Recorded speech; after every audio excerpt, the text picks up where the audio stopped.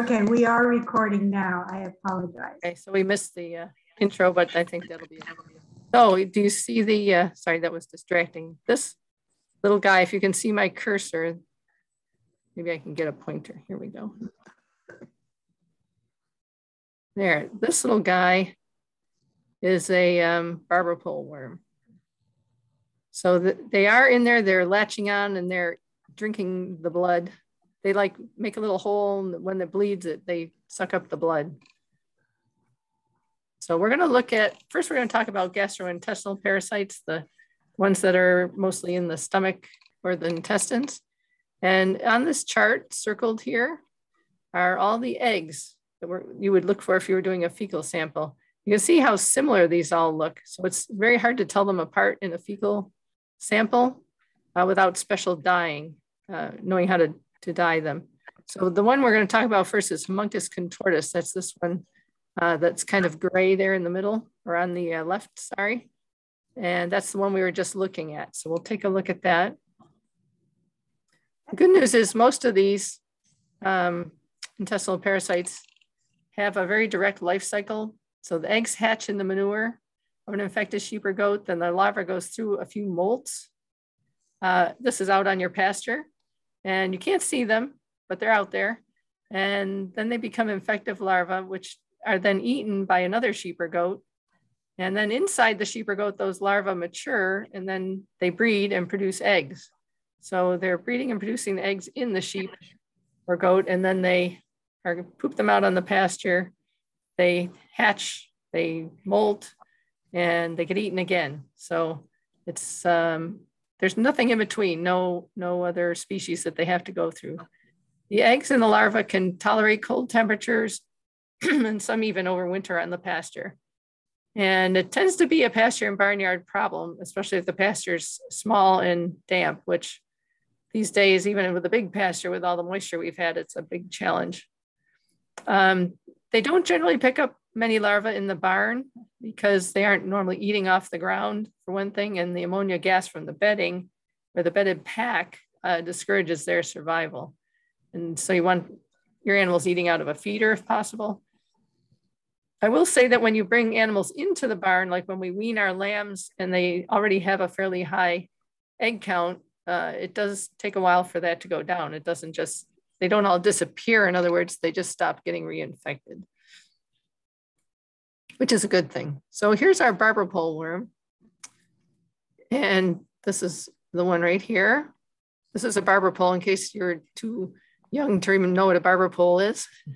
So it's like a candy cane, right? It's striped. That's the blood in there that you can see. And this is the, the tip, and it has like a little um, sharp spot there that bites into the abomasum lining. And then when they bleed, they suck up the blood. And you wouldn't think a little worm could make that much difference, but there's so many of them that can actually uh, take a lot of the blood. So it was originally a parasite of warm climates, but it's spread to the Northeast. I don't know if that's a result of climate change or just us moving our animals around. And uh, short generation time, so it, it reproduces quickly, makes a lot of eggs, and they can consume consume 0.05 mLs of blood per day, which again doesn't sound like much till you multiply that times 10,000 or 100,000, and you realize that that's a lot of blood and uh, could really make an animal feel very weak and even die. So they can infest and kill a host in four weeks. And the hard part is you probably won't know it's happening when it's happening. So we'll talk about that right now. Betsy? Yes? Um, if I can point out one thing, that that's a female worm there. The, the male worm all red. The female worm is red and white because the white there is her ovaries. In case you're looking at barber pole worms and you want to sort them by sex. Um, so clinical signs of the barber worm infection are not diarrhea, right? So therefore, it's not that easy to tell that they have an infection and they can be going along looking just fine and they're becoming very anemic. So how are we going to figure that out? One way is to look at their mucous membranes, which you can see a person pulling down the lower eyelid and looking. And that one's white like a piece of paper. That's very bad. Should be nice and pink, almost red in there. So that's one way to tell, and that's the FAMACHA system, which we'll talk more about uh, later in the talk. And sometimes they develop bottle jaw. So if you look at the uh, hair lamb on the bottom, it's got uh, fluid that's accumulated under the chin, and that, that little pouch is all soft and jiggly if you touch it. And um, that's because they're losing protein uh, and the fluid is leaking where the um, uh, barber pole worms are sucking away in the abomasum. So if you see barber, if you see a bottle jaw and, or pale mucous membranes, then you're likely to have a barber pole infection. And the problem is the animal may not really show that they're not feeling well, and they may not get bottle jaw. So you need to have a way to check them, which is the purpose of the FAMACHA. So we'll talk more about that later, but haemonchus is one of the few worms that is likely to actually kill an animal. So you want to be on top of that one. We'll talk about other ways to control it as well. The brown stomach worm, um, that used to be considered the most serious parasite of the sheep in cooler climates before the haemonchus came along. And this one develops in the gastric glands of the stomach, or what we call the true stomach in a ruminant or the abomasum, and destroys the glands as they grow. So because of that, you know, they're not going to digest their food correctly, and that makes it their nutrient utilization and absorption not so hot. And so they might not look as good. So they usually have diarrhea. They don't eat as well. They have some weight loss. Their hair coat might look rough, that sort of thing. Uh, but they do tend to have diarrhea in this case. And there's other strongyles. I don't know if, um, so all of these worms disrupt digestion and absorption of nutrients uh, by damaging those gastric glands in the abomasum or by damaging the lining of the abomasum or the small intestines. But the clinical signs are fairly obvious, unlike the barber pole worm. They have diarrhea, uh, they have weight loss, and the rough hair coat we were just talking about. And so there's a couple different ones listed there, which I won't try to murder their names, but you can see their, their eggs over here on the lower corner all look very similar. And they, there's the haemonchus contortus barber pole worm. And here's the others. So it's a little tricky to tell from the fecal sample what you got. And there's one other one, uh, Nematodirus, uh, that's a larger egg, which is a little easier to recognize. Don't see that very often, but otherwise they're pretty indistinguishable. Did you want to say something, Todd?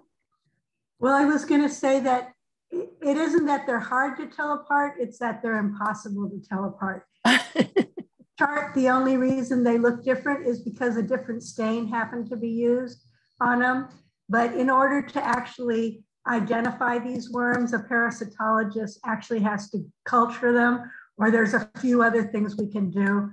Um, some of them will, will, will fluoresce in certain kinds of stain and some of them won't. Um, but basically you can't really tell those eggs apart. So you can get an, an egg count, but you don't really know which it is. You have right. other signs to tell what it is. Uh-huh, correct. So there's strongyloides, which there's been some, some of that showing up this year. And uh, it's also sometimes called the threadworm or the pinworm, but it's not like the pinworms that your kids might have might have had when they were young, or not the cat and dog species that infects people. Um, and they have a complicated life cycle and they're pretty well evolved. They can produce sexually or asexually. And they can be ingested from the manure in the pasture or from the dam's milk if the larvae migrate to her udder.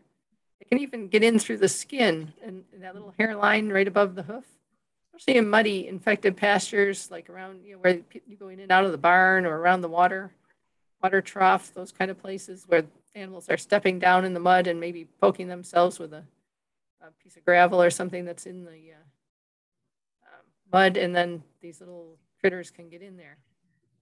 And they can even get in there prenatally if the larvae have migrated to the placenta. So they're pretty bad guys. They are sensitive to the cold and the dryness. Uh, the symptoms are diarrhea, again, if there's enough damage to the inter internal uh, or the intestinal mucosa. Uh, they can die, although I think that's fairly unusual because people would notice they were not feeling good first. And if their lungs are infected by the larva, they might be coughing and they might get a secondary pneumonia as well. Um, there is a lung worm that also causes coughing. So just be aware that they're both out there. And um, I didn't haven't seen this, but it does um, it does happen, seems to happen in certain years and not others.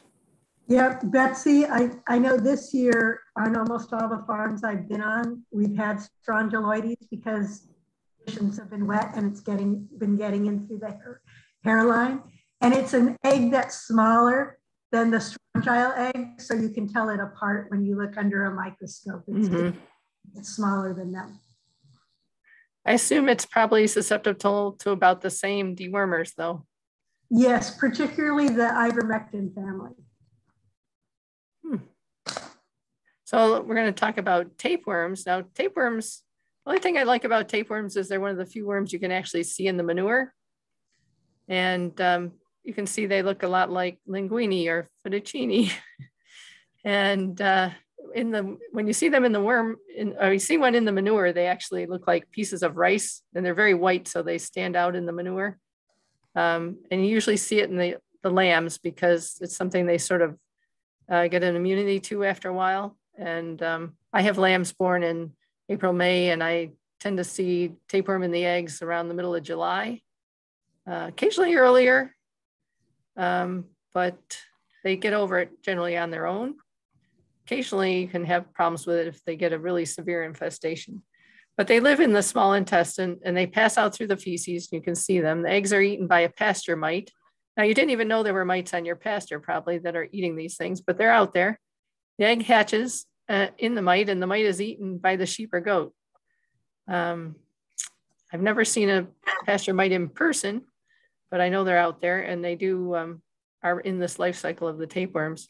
So again, uh, you don't usually need to treat for them especially if you're vaccinating your lambs. Um, but they, I have seen at least one farm where they were causing a problem, uh, not the eggs, the worms themselves, but um, uh, they were, we did have lambs that were dying. And I think that's not related to the worm, but to uh, a clostridial infection related to having too many worms. So uh, let's uh, these are lungworms that are circled here. We're going to talk about lungworms. And these are larvae. They aren't, you can't find their eggs in the fecal sample. Most of them are curly. These are three different types. I'm not sure which type I've had. I have had them at my farm and they tend to show up later, a little bit later in the fall. Uh, matter of fact, the ones I had really came to light on Christmas Eve, which I'm sure the vet didn't appreciate. But I had two ewes and a llama. I had a llama down actually with the lungworms. So let's take a look here at lungworms. They have an indirect cycle through a snail, and you're going to find that snails are really um, uh, troublemakers in this whole uh, parasite thing. They seem to be working together a lot of times. So there's um, some of them go through the snail, and there's one kind that is a direct life cycle. Uh, they can cause coughing and fluid in the lungs and lead to pneumonia. And I think this is this uh, curly one here is what I've seen in a fecal sample before, very typical looking one. Uh, it's excreted as a larvae, not an egg. That's why you can only find the larva in the feces. And um, to be sure, you want to take the fecal sample right from the animal uh, because they can have little nematodes like this in the soil. So if you're taking one up off the ground, you got to be a little careful not to confuse it with a soil nematode. But luckily, they are also um, killed by the same things that get stomach worms and intestinal worms. But after my little experience of having that in the around Christmas time, I did um, deworm all my sheep and goats in the fall for a year or two and confine them to the barn so that they wouldn't drop all the resistant worms out on the pasture.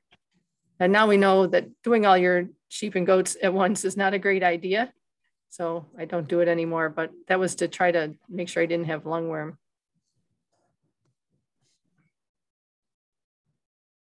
Liver flukes. Now, there's a couple different kinds of liver flukes, and we'll talk about all the different kinds in a minute. They, they're, um, there are some farms in the Northeast that have acute and chronic liver fluke populations, and uh, they do require water or wet areas at least and snails, those darn snails. Um, they can you can kill adult liver flukes with albendazole, which is also the trade name is valbazen, or Ivomec Plus, and it's the clorsulon in the Ivomec Plus that uh, actually kills the flukes. So we'll talk about the different kinds here. And I, I, had a really bad experience with the second one there, the deer fluke, which I'll tell you about in a minute. Um, if they have the indirect life cycle in the snail or snail and an, or an ant as intermediate hosts, uh, you have to remember that any place there's snails is not a good place to put your sheep. And I did a, a bad thing and I fenced in the corner of the woods down in a wet area, trying to give the sheep some shade because they couldn't come back to the barn. And I think as a result, I exposed them to a lot of snails that were, uh, you know, under the woods, it stays pretty damp in the morning or along the hedgerow, same thing. Uh, seems like a great idea to go right up against the hedgerow, but if it's a, if it holds a lot of moisture, you'll see a lot of snails there. So just a warning. Uh, the Fasciola hepatica, the common liver fluke, supposedly is not in New York, but um, I have talked to people that whose vet feel they did have that particular fluke. The Fascioloides magna is the deer fluke and doesn't bother the deer, but when you get them in your sheep, it's not very good at all. And we'll talk about that also. I had a very bad experience with deer flukes. And the last one down there, the lancet fluke, is really a health problem, even with heavy infestations, but it can cause your liver to be condemned at the slaughterhouse. So I think we're going to talk about each of these uh, individually. So the hepatica, or the common liver fluke, or the sheep fluke, um, we used to think it wasn't east of the Mississippi, but there have been some affected animals in New York. I had a, a, a uh, farmer to the east of me that did have lambs with flukes. And I'm not sure that they came from around here, the sheep, so it's possible they came with the sheep. Um, it does include freshwater snails in the life cycle.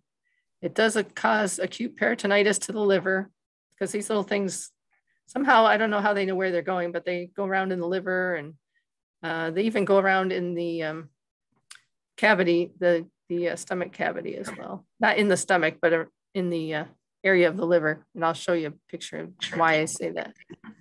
It often causes chronic wasting and problems afterwards, uh, even if you get rid of them. And uh, it can cause bottle jaw, like we were in anemia. So that's a little, you know, we talked about that being some something for the barber pole worm, but it could also be the fluke. It tends to be around here at least I can't speak for everywhere, but in our climate, it tends to be these show up later in the summer or in the fall, even, which usually the barber pole worm is earlier in the summer, usually. The magna is the deer fluke. Uh, it's definitely found in the Adirondacks, the Catskills. Anywhere there's deer, I would think. Uh, it's a natural parasite of the deer. Doesn't bother them, or that we know of at least. But in sheep and goats, they're not the normal host and it's not a good thing. So they they're little and they don't actually mature, but they like to travel all around through the liver and make a big mess. So they don't mature and don't excrete eggs. So they're not passing it to each other like they might other worms, but uh, they're doing a lot of damage and they also uh, tend to drag something around in there like that's Clostridia and that can kill your sheep really quickly. It's an acute disease. It can be fatal within six months. And I'll show you some pictures, then I'll tell you a story. This is the liver of a goat killed by a deer fluke. And if you know, if you know what liver looks like, it's supposed to be sort of smooth and reddish brown and solid, not all full of uh, holes and uh, scar tissue. Uh, I'm just going to go to the next picture for a minute. This is um, the liver of a sheep who died of deer flukes. And unfortunately, that's my kitchen sink and my hands, and a liver from one of my many sheep that died from the deer flukes. And you can see the black uh, in the liver, and you can see if you look down here, this is the uh, part of the reticulum, and there's part of the diaphragm. Everything, when I opened these up to do a necropsy, you have to realize this is like in the middle of winter, it was like five degrees out. Um, everything was stuck together inside the sheep. So there was a lot of irritation going on uh, by these little critters migrating around. I, I had to like hack it out of the other organs. So um, they were actually killed by novyi, Clostridium novyi, which is black liver disease or Black's disease, they call it sometimes. And um, so we had to try to kill the flukes, which is hard because they're not mature and there aren't many things that will kill immature flukes. And we quickly gave them all a vaccine that had all the other Clostridium in them because I had only used CDT, which only has tetanus and overeating. And um, we did that all, it was freezing. And I had my daughter and her boyfriend who'd never been on a farm helping, but they were very good and, and uh, tried to help save the sheep. And um, we did give them clorsulon, Ivomec Plus with clorsulon, and we did give them valbazen at a dose recommended by Mary Smith from Cornell. we didn't lose any more after they were treated, thankfully. I did have some that were sick, but didn't die that were just sort they would stand with like their head in the feeder, but not actually eat anything. They were just kind of very blah and they'd get skinny. I had to, I nursed most of those back to health and they, they did surprisingly well after they recovered but it was really uh, scary there for a while. I lost like 15 out of 110 or 20 sheep over from Halloween through Christmas. And the first one, the first one we found her, I found her down below uh, the farm, uh, the barn a ways with her head blown up the size of a basketball. And um, we didn't really know what was wrong with her, but we laid her on the back of an ATV and drove her up to the barn and put her in the dark because it looked like it might be a photosensitive type reaction. And um, I had to, her lips, she was so swollen, you couldn't really open her mouth or anything. I had to drench her with water and Gatorade. And I kept her alive and her head unswelled and then all her skin peeled off. Uh, she looked like the zombie sheep. She had uh, pus coming out of the middle of her eyeball on one side. And I probably would have been arrested if anybody actually saw her in the barn, but she survived and her name is Scarface which surprisingly, that was her name before this happened too, because she had a Harry Potter scar on her forehead. And um, she's still producing lambs and she's 10 or 11 years old. She looks horrible. I can't ever send her to the sale. She'll have to be euthanized at my house probably because she has a rat tail and only half an ear on each side. And she's pretty rough looking, but she is pretty tough. And that was actually turned out to be the first and we didn't know what caused that, but later looking back, we know that uh, the liver, having her liver messed up could have caused that. And then I just started finding sheep dead in the morning. I'd go in and there'd be a dead sheep in the barn, another dead sheep. And uh, eventually we put two and two together after doing these necropsies and finding the gross livers. So now what I do is uh, all my sheep get the seven way clostridial, like something like Vision 7, which is approved for sheep um, in the fall. And then because that doesn't have tetanus in it, I give the CDT in the spring before they lamb. And um, the reason uh, you can use Covexin 8, that has everything. And it's a very good product, but it is, uh, it's a painful shot. So uh, it's a hard one to give over and over every year because they have to have five cc's, I think, the first time. And uh, I find it easier to give them two cc's of the Vision 7 and 2 cc's of the CDT at different times. And uh, that doesn't seem to get such a big reaction out of them. They don't get left with a lump on their neck or anything like that. So um, that's my deer fluke story. And um, nobody knew what it was at first, including me or the vet, but we did manage to do a little CSI and figure it out. So I'm going to go back here. So the best treatment for flukes is to prevent it, of course, and try to fence off wet areas keep them out of the swamps, keep the deer out of your pasture. Now my guard dogs would keep the deer out. The problem is when you're doing rotational grazing, they can only keep the deer out of the pasture that your sheep are actually in. And it's hard to kill the larvae. Uh, it's harder to kill them than the adult flukes. Uh, one thing that might work is albendazole, which is valbazen, if you go to buy it in the store. And you have the uh, dosage there. I'm not going to read that all off. Um, and clorsulon, which is in Ivomec Plus. Um, and there's your dosages for that.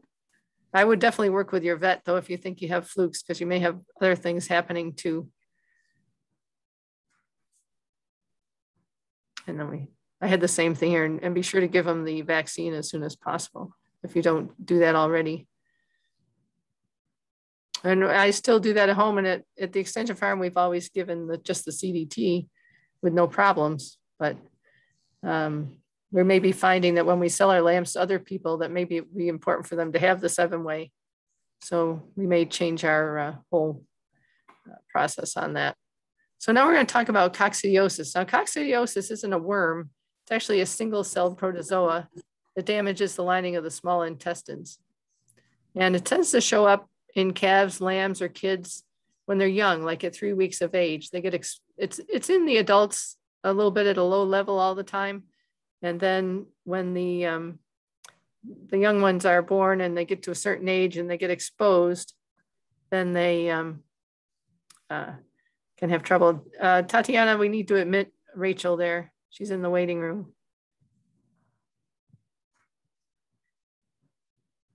Okay, I've admitted her. Okay, great. I just saw it come up there. I didn't want to keep going until she got back in. Um, they tend to have a poopy butt or a mucky butt, and um, it's spread through the infected feces, decomposing feces in the soil or the bedding. It tends to be an indoor, an inside problem where you have pens of young animals or old and young animals mixed together, or animals that are uh, young but of different ages. So I can't, unfortunately, I can't read the top of my slides because this is in the way. Here, let me see if I can move it. Uh, high floating meeting controls. There we go. So severe coccidiosis causes many small white foci in the intestinal wall. So those are like little scar tissue places. And so absorption is impaired and it damages both the small and large intestine. So they're eating fine, but they're not getting the nutrients from what they eat. And that's pretty bad one. Picture there. Now I gotta find my little dot here. There we go. So Eimeria, and they were on that little chart that we looked at up on the top left. They were, look like they're the same shape as the other eggs, but smaller. kind of like uh, a, a hard-boiled egg cut in half lengthwise. There's many species, but they're host specific. So you don't have to worry about your chickens being in with your lambs or something like that. Um, they do develop immunity to each species with exposure, but you don't want to like overexpose them at first. So you want to avoid sudden exposure to large amounts of infected species feces, which could happen if you're bringing things into your barn or weaning things into the barn, that sort of thing. Uh, stress is can make it worse. And young animals don't have much immunity built up yet. So um, older animals can have the same problem also with other worms that they uh, don't have as much immunity. And so they can be susceptible to coccidia as well. So orphans, when you're weaning them, when you're moving them to a new home, uh, young mothers that are stressed, you know, nursing new babies. Um, and when you have too many in a small space, that's true of almost everything it's not a great thing. So a lower density of animals helps. And uh, coccidia is a tough one. You, it, you can never really kill it. Even when you treat it, you don't kill it. You just kind of stamp it back. And um, so if it's warm and moist, like the bedded pack or wet spots of spoiled feed and that sort of thing, uh, that permits sporulation and it goes from eggs to infectious in one to two days. So that's pretty quick and it can survive a long time under good conditions. So the best thing is sunlight, fresh air, low humidity, um, clean sanitation in your barn. You see the lamb standing in the feeder? None of our lambs do that, do they? You know, and goats like to do that also, stand in the feeder and poop. And so it's spread around pretty easily. If, if one animal in the pen has it, they probably all have, have it to some extent. And they do build up immunity as they age, but it can also be bad enough that it's uh, really affecting their health as well. So ideally you'd raise your dairy kids and lambs away from the adults. Um, if possible, you can separate the young animals by age. So you don't have them, you know, new, like if you're lambing several times in the spring, some people lamb, you know, some in May, some in June, that kind of thing. You don't want to mix those together. And luckily, when they're nursing, the milk is protective. So, but then when you wean them, that's a very high risk time for coccidiosis. So you want clean, dry sunlight if possible. want to avoid some sudden exposure to feces, especially at weaning time. And a couple pictures here, they can, animals can sit up on these benches away from the fecal matter. Of course, sometimes they like to lay under the benches just because they can. And here's some that are outside where the sun and the air are hitting the ground and, and uh, hopefully killing some of the coccidia or keeping it from um, being very high population at least. We have in the past um, put Deccox or one of the other, uh, I guess we usually use Deccox in our mineral mix and fed it to our sheep in the barn, the adults before lambing to help get the population down in the adults before lambing. Um, but there's an, a huge population in our adults, so I'm not sure whether that is really effective or not, but it might be, if you're having a problem, it might be worth trying. So conventional, if you're not organic, uh, you can use coccidiostats as additives in the feed or maybe in the salt or the water to help prevent it. So um, this is sort of what we were talking about, especially in pregnant females starting one month before parturition. So month before lambing or kidding until weaning of their young, you can put this, um, usually we use Deccox these days into their mineral or um, into their feed. Ours don't get much grain, so it'd be tough to put it in their feed. Um, these are some of the different ones you may have heard of, Bovatec, Rumensin, and Deccox. Now, at least our feed mill prefers to use Deccox because it's not toxic to horses, which some of the other ones are. And so, um, and they make horse feed. So they'll use Deccox in our feed if we ask for it, but they won't um, put the other things in anymore. And Corid, we have seen Corid as Amprolium. Corid is the trade name, comes in a jug or also comes as a powder, and it is approved for sheep and goats. And if you read the directions on the back, it tells you how to mix it. You can either put it in the feed trough, which is a little iffy because you don't really know how much they're going to drink. You're hoping they drink what you're predicting. And you have to keep it clean. So you then have to dump the thing and start again every so often. Um, I like to do the drench, even though you have to do it five days in a row. Hopefully you don't have to do like 500 of them five days in a row. I think in that case, you're probably going to have to go for the water. But um, if you have a, a pen of uh, kids or lambs that you need to treat, the uh, drench seems like the way to go. And it tells you on the package uh, how to mix that.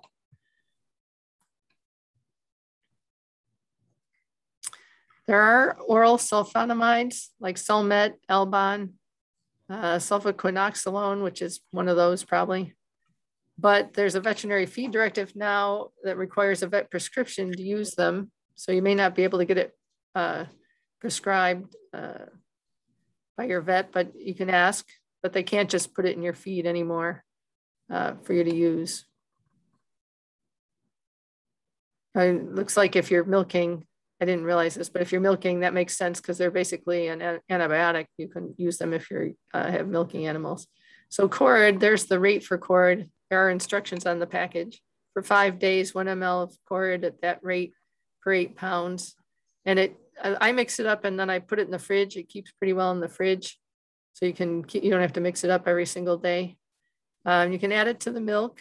I just directly drench it was uh, worked for me in my situation. I have a cat crawling on me here. There we go. Ideally, you know, it helps to keep your animal healthy in general. So make sure they have enough selenium and um, make sure you can supplement them with electrolytes or supplement electrolytes, sorry, or supplemental nutrition and help alleviate the stress. And that'll help keep the coccidia down. I have had problems with it in the past, haven't had any problems recently, thankfully. We had it more when we lambed in the winter and we had animals inside together more than we do on pasture. With other things on pasture, but not so much coccidia. And we're also going to talk about another worm from the deer. Thanks, deer. Uh, the deer worm or the brain worm, or you might hear, hear it called P. tenuis. And it's a, it is a parasite of the white-tailed deer, but in small ruminants like sheep and goats, especially, and llamas and alpacas. And I didn't realize it was bad for fallow deer, but it is, it has, it, it can cause a lot of problems.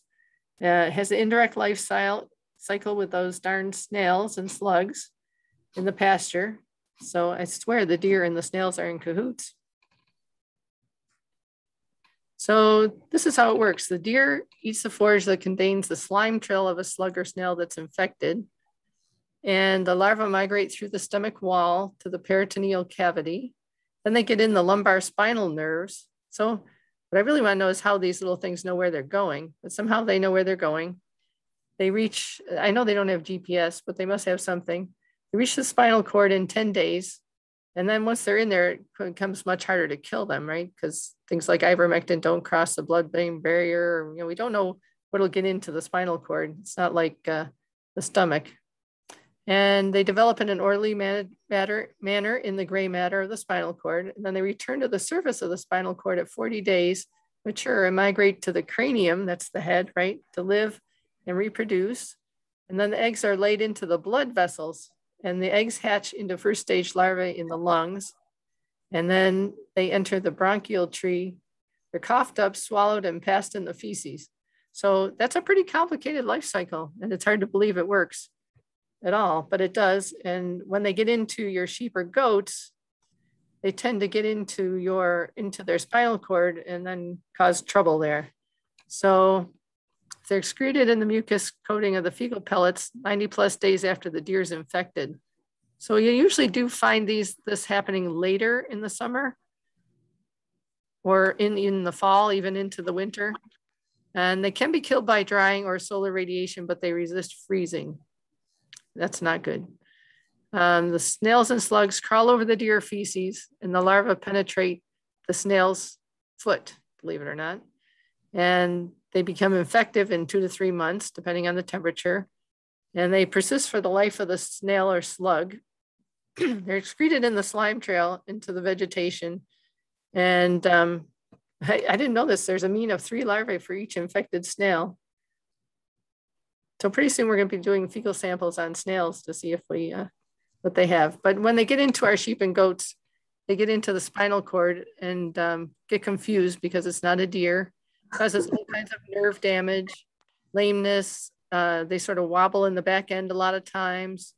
Uh, they might itch at a spot. I had one that uh, scratch like scratch with their back leg, sort of weirdly for a while. We did get her stopped and it can actually uh, get the par- paralysis can get pretty bad and they can die or they can just become you know that they can't get up and then they, they can't uh, really do very well but they usually are bright they want to eat there's nothing else wrong with them so they're pretty happy they just can't move around you see this uh, black faced sheep is pretty typical she's like sitting with her back end down and her front end up I had one that dragged her back leg. I've had one that I thought got smashed by the uh, goats because she was like wobbly in the back end.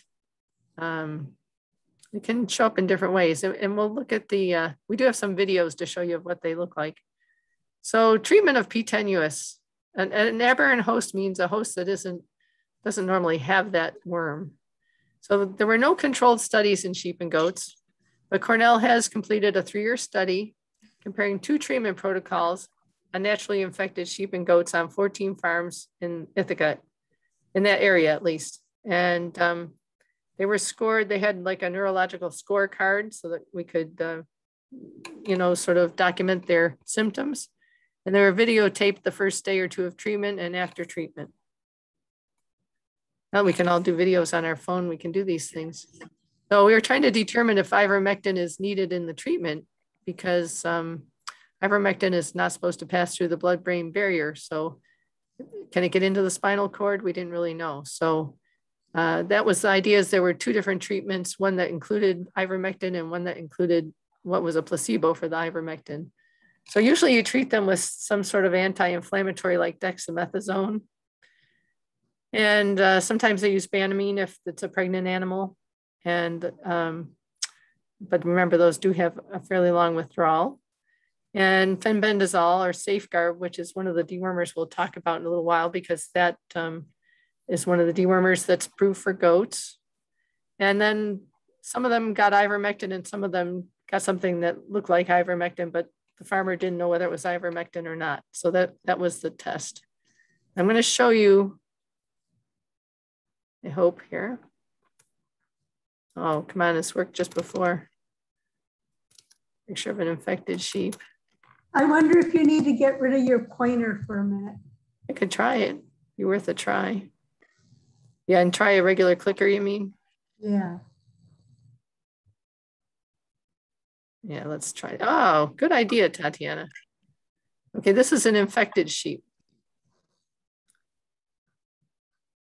See how she's sort of wobbly or weak in the back end and can't get up? And here she is. Oops, that's her again. Okay, let me stop that. I can't find my cursor. There we go. Sorry. Here she is after treatment.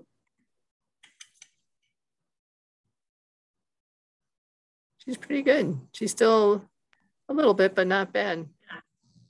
She can get along. I had one that recovered, but I eventually found her. She got upside down in a hole in the pasture, but couldn't get out. Wasn't strong enough or couldn't coordinate to get out again. Okay. I think this one, the owner did end up culling um, just because they were moving their animals with a stock trailer from pa pasture to pasture and mm -hmm. she mm-hmm. had trouble jumping into the stock trailer. Right, like she could walk around and eat and function, but she was, wasn't quite right. Yeah, and there's a person person in the, the waiting room. Okay. okay. By my cursor. Here's the infected goat.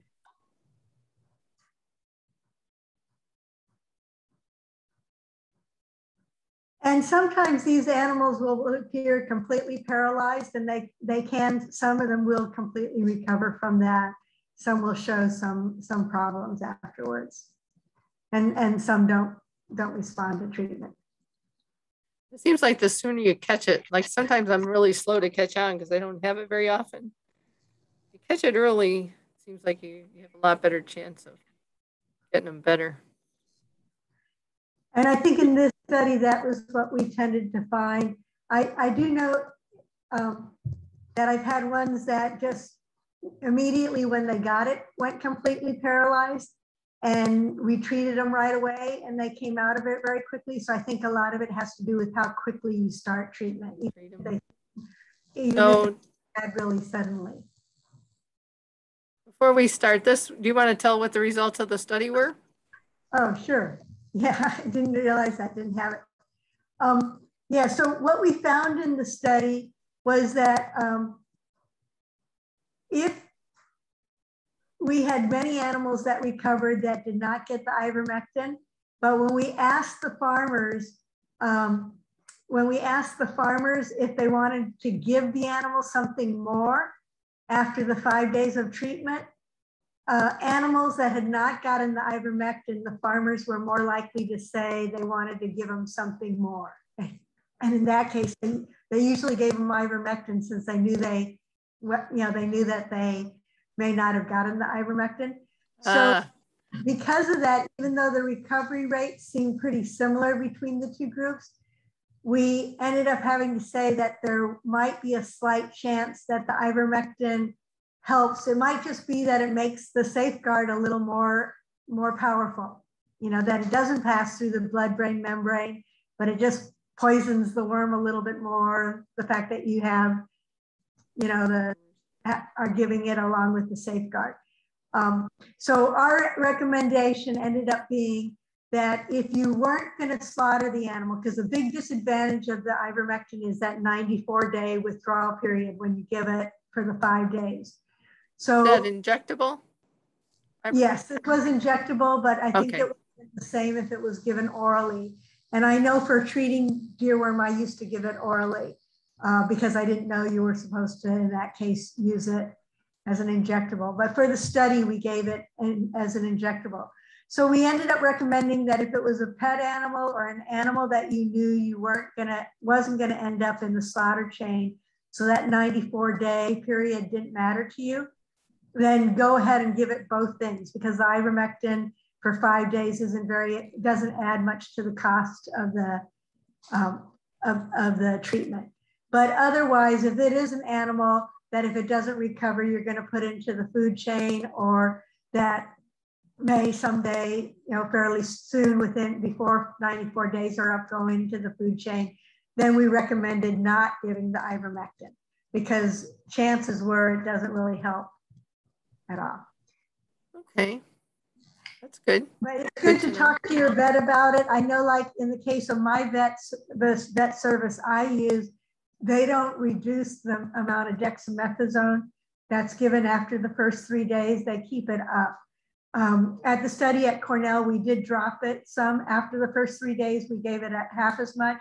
And that's just because um, the longer you give a steroid like that, the more chance that the animal might pick up a secondary uh, bacteria infection, you know, that their immune system might be a little compromised.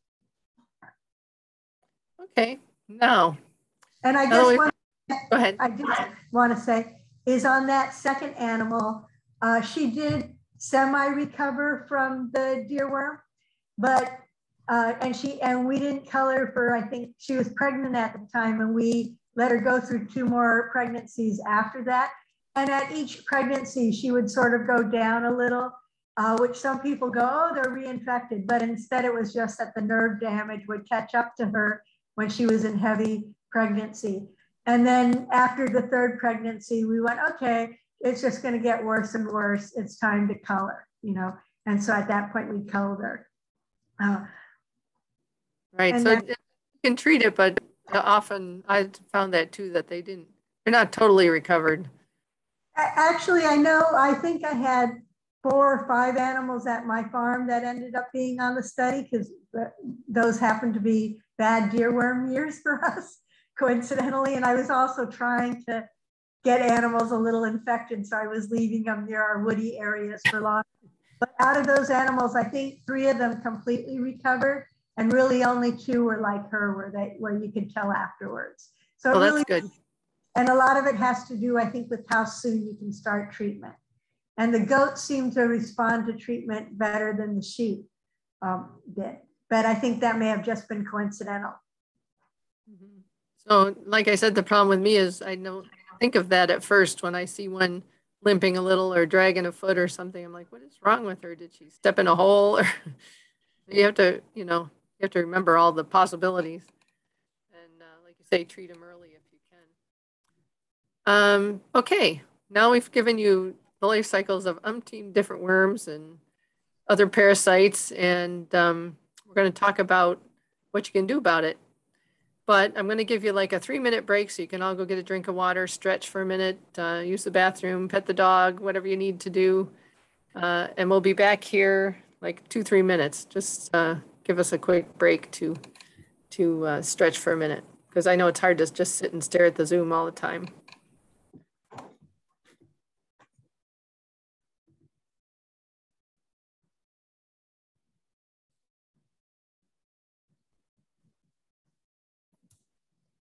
I feel like I should play some kind of music. yeah, I I actually thought you were going to delay the break till the switch between us, and then they could be leaving while I was. Yeah, they could do that too. No, we'll we've done this already. It'll just be a little longer stretch for the next one. Well, I'm going to keep this. This is a short break. This is like a two or three minute break. Yep. No, I'm just saying they're going to be sitting for a while longer now because it wasn't an hour yet. Okay, I can get the cat off me for a minute. I'm going to mute for a second.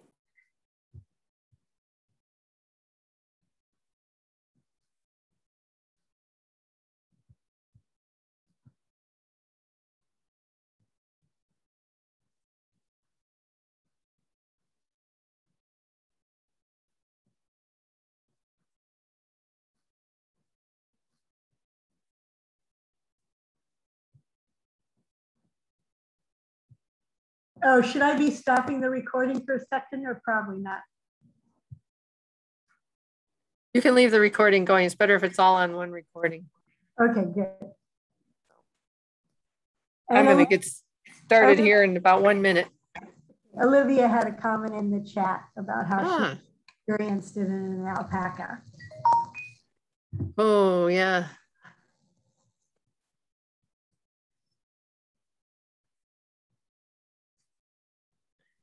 Um, Julie's asking about the dosage in the trials um, for the safeguard and the ivermectin. And did, was that on the slide? I can go back a couple of slides and look quick. I don't, I believe it, well, look back and see. Yeah, I don't remember. I can't remember if it's on there. If not, there's a fact sheet at your uh, website, which I'm going to send out on the, oops, I got to, I have to take my chat down because I can't see anything with the chat up. Uh, let's see here. I'm working my way back. My getting a slow response on the clicker here.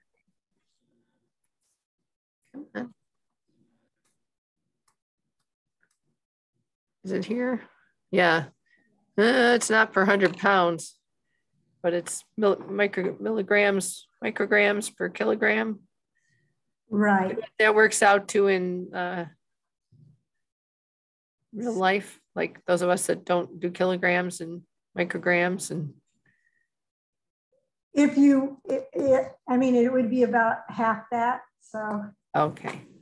you know, um, but it, it is, it is in that fact sheet. I believe it's given. I think so too. There's also, if they go to the, if they go to the page in, um, in the Cornell Small Ruminant uh, Research um, website, uh, if they go to the, the deerworm page there, uh, it there's a letter to the farmers that has the table that we use that has it in line. Oh yeah, right. I remember so that. I can send you the I can send you an attachment that's yep. that table and then you could let people have that table. Yeah, I can also just put I'll put the link to both places in there in the uh, follow up with the uh, recording because I have a bunch of uh, we're going to have a couple charts of the worms and a couple of charts of the dewormers and some things like that. That'll all be on the uh, follow-up email that has the recording link, which will probably be tomorrow because I think by the time we finish tonight, I won't be able to get it all together. Okay, um, hopefully everybody's back. And we're going to start with the know your weapons. And um, we're going to talk about those great dewormers that you can buy at the feed store or maybe have to send for in the mail. And I'm also going to talk about pasture management, which is really important. And also some of the things coming up, how to deworm only the sheep that need it, and uh, you know, genetic selection, um, the immune system, nutrition. There's lots of uh, different ways you can fight these little critters. So we'll talk about, I'm going to talk about the uh, chemical dewormers and then Tatiana is going to tackle the rest of it. So we have some chemical dewormers. I will say that they're not necessarily easy to find at your local feed store. You may want to order them from Premier or Jeffers or PBS um, or some of those other livestock supply places because at least in our local stores, they only have one kind, and um, that doesn't necessarily one that works. So you need to uh, maybe keep a few on hand that you of different types, which we'll talk about the different types in a minute. And there's there's only a few, and if you know if you have sheep and goats, that there's not a lot of um, you know big investment by chemical companies to make more dewormers for us because we just have sheep and goats, and they're not considered a major species. And so we need to take really good care of the dewormers we have and manage them properly so we don't develop too much resistance among the worm population. So there's three drug families, and these are some pictures of some, but one is the benzimidazoles, and they all end in zol, fenbendazole, uh, which is safeguard, albendazole, which is valbazen, and oxybendazole, which I don't know what that actually, if that has a uh, commercial name. Um, and they look, they're, these are white. They look like Elmer's glue or like the sap from a milkweed. Uh, and they're kind of sticky like that. They're white. Um, the white, also called the white dewormers. There's the nicotinics, levamisole, which is also known as prohibit, morantel, and pyrantel, which are other dewormers. And these are a little um, We'll talk about them more in detail in just a minute. I won't get carried away here. The macrolides uh, are the ivermectins. Most of them end in ectin. Ivermectin is probably the most well known. remember when ivermectin first came out, had to be maybe in the 80s. I was at a uh, national extension meeting and we were, the people that make ivermectin were actually um, talking to us, like letting us do interviews with them to take home and play on the radio because this was a totally new type of dewormer. And boy, it wasn't that long ago. And now a lot of the worms are resistant to ivermectin. But there is cydectin and uh, doramectin. I think cydectin is actually maybe moxidectin. Um, and they can still work in some situations. I, one of them, like ivermectin, works pretty well at home, but not at work for me. We'll talk about how you can tell whether they're working or not as well. So these are the white drenches we talked about, the ones that look like Elmer's glue.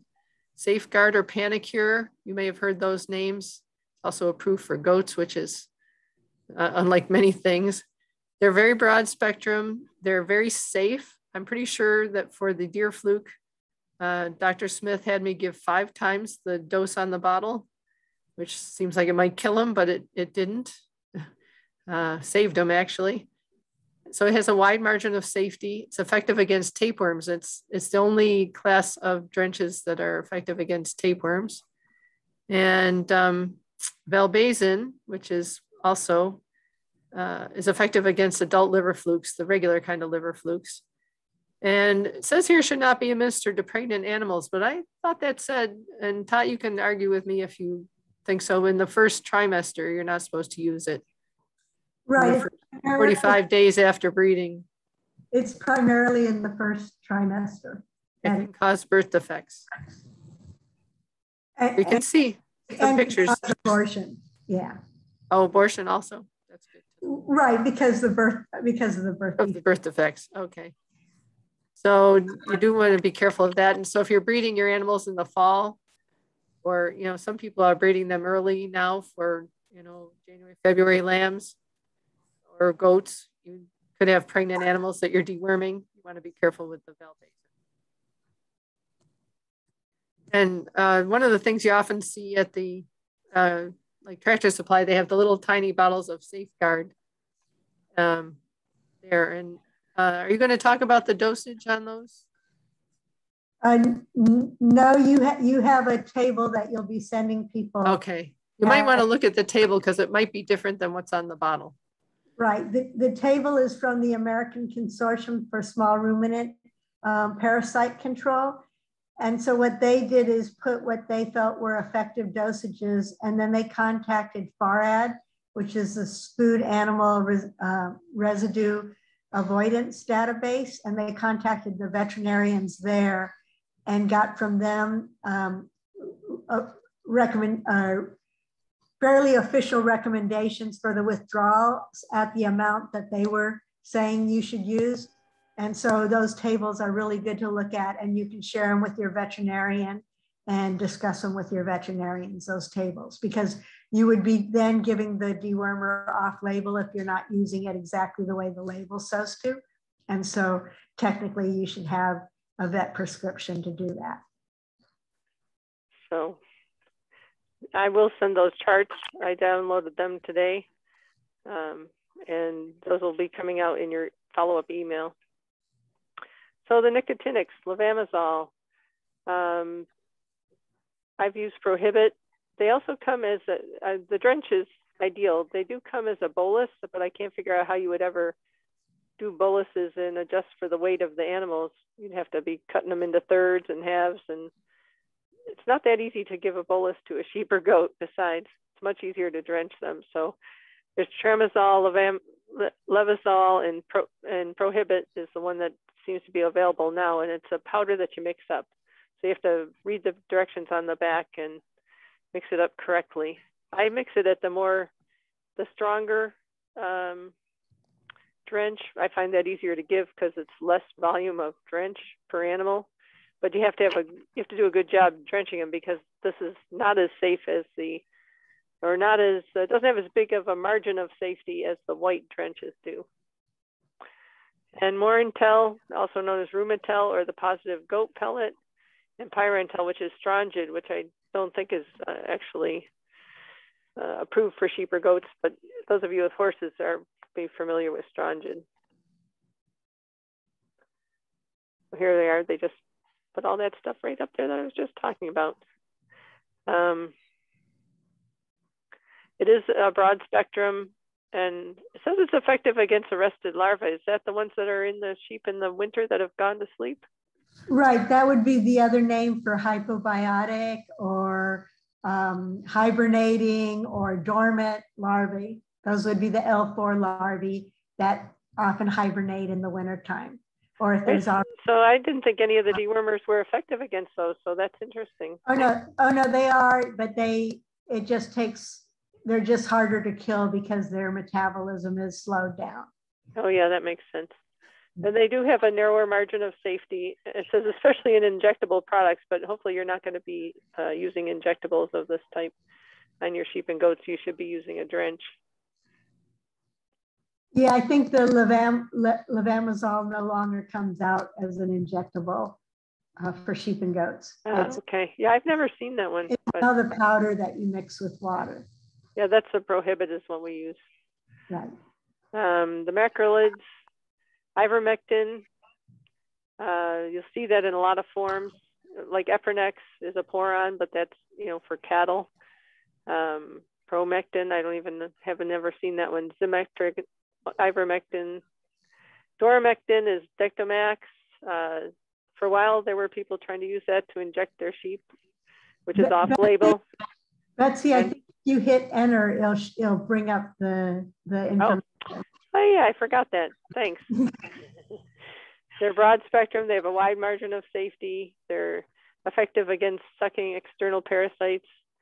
Um, moxidectin is the newest one, has a little persistent activity, which know if that's a good thing or a bad thing as far as resistance goes, but uh, I suppose it could help if you're having a problem.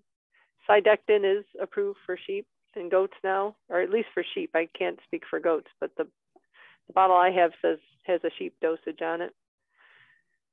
And I don't think Dectomax, we're going to talk about that actually. I think I've got a thing here. So approved for goats, fenbendazole, which is Safeguard, Rumatel, and Valbazen. So you've got two in the white white uh, dewormer group and another one. And then approved for sheep is Valbazen, Ivomec, Cydectin is approved for sheep. I added that one to the slide because it wasn't on here. And levamisole, which is the prohibit. So it's very confusing because there's like two names for everything, the, uh, the chemical name and the, the trade name.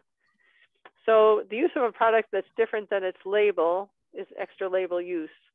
And that requires a vet prescription in context of a valid, you have to have a relationship with this vet for them to make a recommendation. And then you have to remember if you're milking your sheep or goats or cows or whatever, that uh, that there's a whole different withdrawal, and not that many of them are approved for dairy animals. And uh, as a result, you should use exaggerated withdrawals when you're using them extra label. So keep good records, and you can check. There's the website you can check uh, to see what the withdrawal could be, or actually your vet usually has to do that, I think. I did look once and you have to put in your veterinary license, I believe, to get that.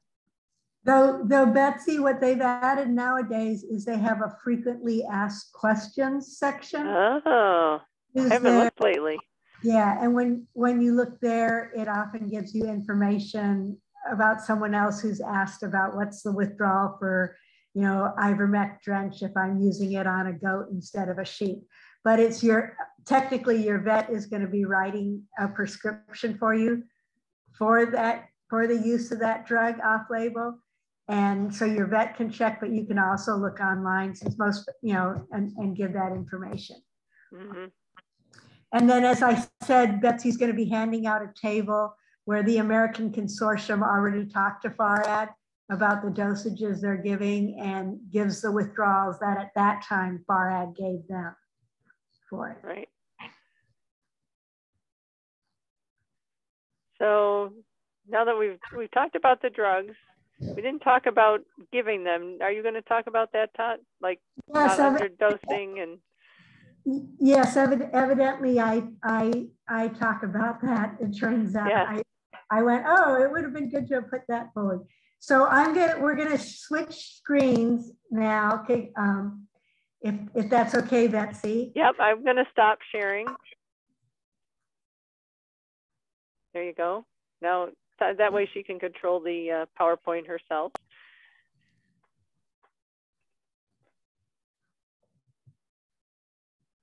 And we're going to talk about a lot of different things you can do and it is a challenge for those of you that only have a couple animals, for example. Your strategy is going to be different from somebody that has a thousand sheep or something like that. So you have to think about what can apply in your situation and then, you know, try to do it. And it's not always easy, I will say. It's sometimes very frustrating. There you go. It just came up, Todd. All right. Thank you. All right, so I'm going to go ahead and talk about some of the things you can do as far as grazing management to help reduce primarily barber pole worm problems. And a lot of this is going to focus on barber pole worm. And so the amount of pasture contamination you're going to get with your worm eggs is often influenced by the height of your pasture that you're grazing at, how long you're grazing that particular paddock uh, before you take the animals back out of there, and then how long you rest that paddock before you bring the animals back in. And it's going to be really easy for me to give you recommendations, but these recommendations may be impractical for you when it comes to the entire grazing cycle or for your particular farm. And so because of that, when you talk about trying to have these uncontaminated or fairly uncontaminated pastures, you're going to want to do this grazing management practice primarily with your most susceptible animals. So giving priority to those animals, and that's going to be your recently weaned young stock, your lactating does and ewes, especially those that have kids, kids or lambs at their side. And then lastly, your dry animals, which are going to tend to build up more immunity. Okay, so the first thing I'm going to do is go through the life cycle of barber pole worm um, a little bit and to sort of give us an idea of what's happening out in a pasture. And I'm going to sort of start out with thinking about okay, it's May 1st, and your animals are going out to pasture for the first time after winter's over. Um, and Betsy went through some of this, so I'm afraid some of this will be a little bit of a, but it, it's complicated. So it's probably good to go through it twice. All right. So the eggs are in the feces. You let your sheep or your goats out into that grazing paddock and they squat down and they pee and then they poop. And you've got fresh eggs in that poop. And when it comes to barber pole worm, it requires things to be somewhat warm before that worm is actually going to hatch. It does start hatching at as cool, cool as 50 degrees. And by 60 degrees Fahrenheit, you get lots of response. And it also requires some humidity. And in studies they've done in the lab, it takes about three to five days for the barber pole worm to hatch when it's in the upper 70s, and a lot longer to hatch when it's in the upper 50s, or I mean low 50s. But in reality, in our in New York, once May comes, our our our temperatures start heating up pretty quickly. So it's really only in the fall that you get really long periods of time when it's 50 to 52 degrees. So in general, we usually say the eggs are going to hatch from one to six days. Um, in, in the warm, hot weather that we had this summer, a lot of those eggs were probably hatching within the first 24 hours. And they hatch into what's called an L1 larva. And that L1 larva doesn't leave the fecal pellet. It just sits in there and it eats bacteria. And then it grows and it molts and it sheds its skin just like, like a snake would and it becomes an L2. And the L2 does the same thing. It just eats bacteria in the feces and stays in that fecal pellet. If a dung beetle comes along and buries that pellet, it can't get out of that pellet. Okay, it's just pretty much stuck in there. Okay. And keep in mind that direct sunlight can heat that fecal pellet up to 155 degrees Fahrenheit. And at that point, it'll kill that L2 larva or that L1 larva inside the pellet. And so because of that, that first run through a pasture when the pasture is still pretty short, if you mow that pasture right after the animals have left it, and there's a lot of fresh eggs and L1 and L2 larvae in the fecal material, if you mow it on that on, on a really sunny day and the sun's able to hit those pellets, it can do the sterilization. Unfortunately, later on in the season, when you mow it short, when you mow it short like that, there's going to be a nice covering of mulch usually over that fecal pellet. So you're not going to get that direct sunlight on it. Um, shade trees and tall dense grass are going to help shade that pellet and help help those worm eggs survive. and help those L1 and L2 larvae. The L2 then molts to become an L3 larva. And the L3 larva is what's infectious. If your goat or sheep had swallowed up that you know, fecal pellet with the L1 larva in it or the L2 larva in it, that L1 larva or that L2 larva will cause no damage to your sheep. Okay, it's the L3 that is the infectious one. Okay, and when, because it's this L3 is gonna have to escape from the fecal pellet and it's gonna live outside of the fecal pellet. And because of that, nature has made it so that it doesn't get rid of its second skin. That second skin from when it was an L2 stays on it and it gets an L3, um, it gets a second skin as well. And the skin, the first skin doesn't come off of the mouth. So this L3 larva can't eat. It can't eat bacteria. It can't eat anything. Okay. And it has to live off it, its stored reserves. But the problem is that worms are cold blooded and so in hot weather, the, their metabolism speeds up and this L3 larva can survive about 30 to 60 days without eating. And in cold weather, where its metabolism is slower, it can live up to 120 to 240 days. And we used to think that the L3 larva couldn't survive freezing when it came to barber pole worm. And your other strongyle worms have very similar, similar, um, similar um, life cycles but they tend to hatch at a cooler temperature than the barber pole worm does. They don't need that 50 degree temperature. So it takes about five to 14 days for the, for the worm to go from being an egg in that fresh fecal pellet to being an infectious L3 larva. And at this point, your pasture is now infectious. Um, Betsy, there's someone that needs to get, uh, Olivia needs to be admitted back into the waiting, back from the waiting room. Um, and so the, and that five to 14 days really varies depending upon what the temperature is like. The cooler and drier the temperature is, the longer it'll take it. The L3 larva in California and places like that will die in heat waves when it's really, really dry. Unfortunately, we usually get heat waves that are really wet.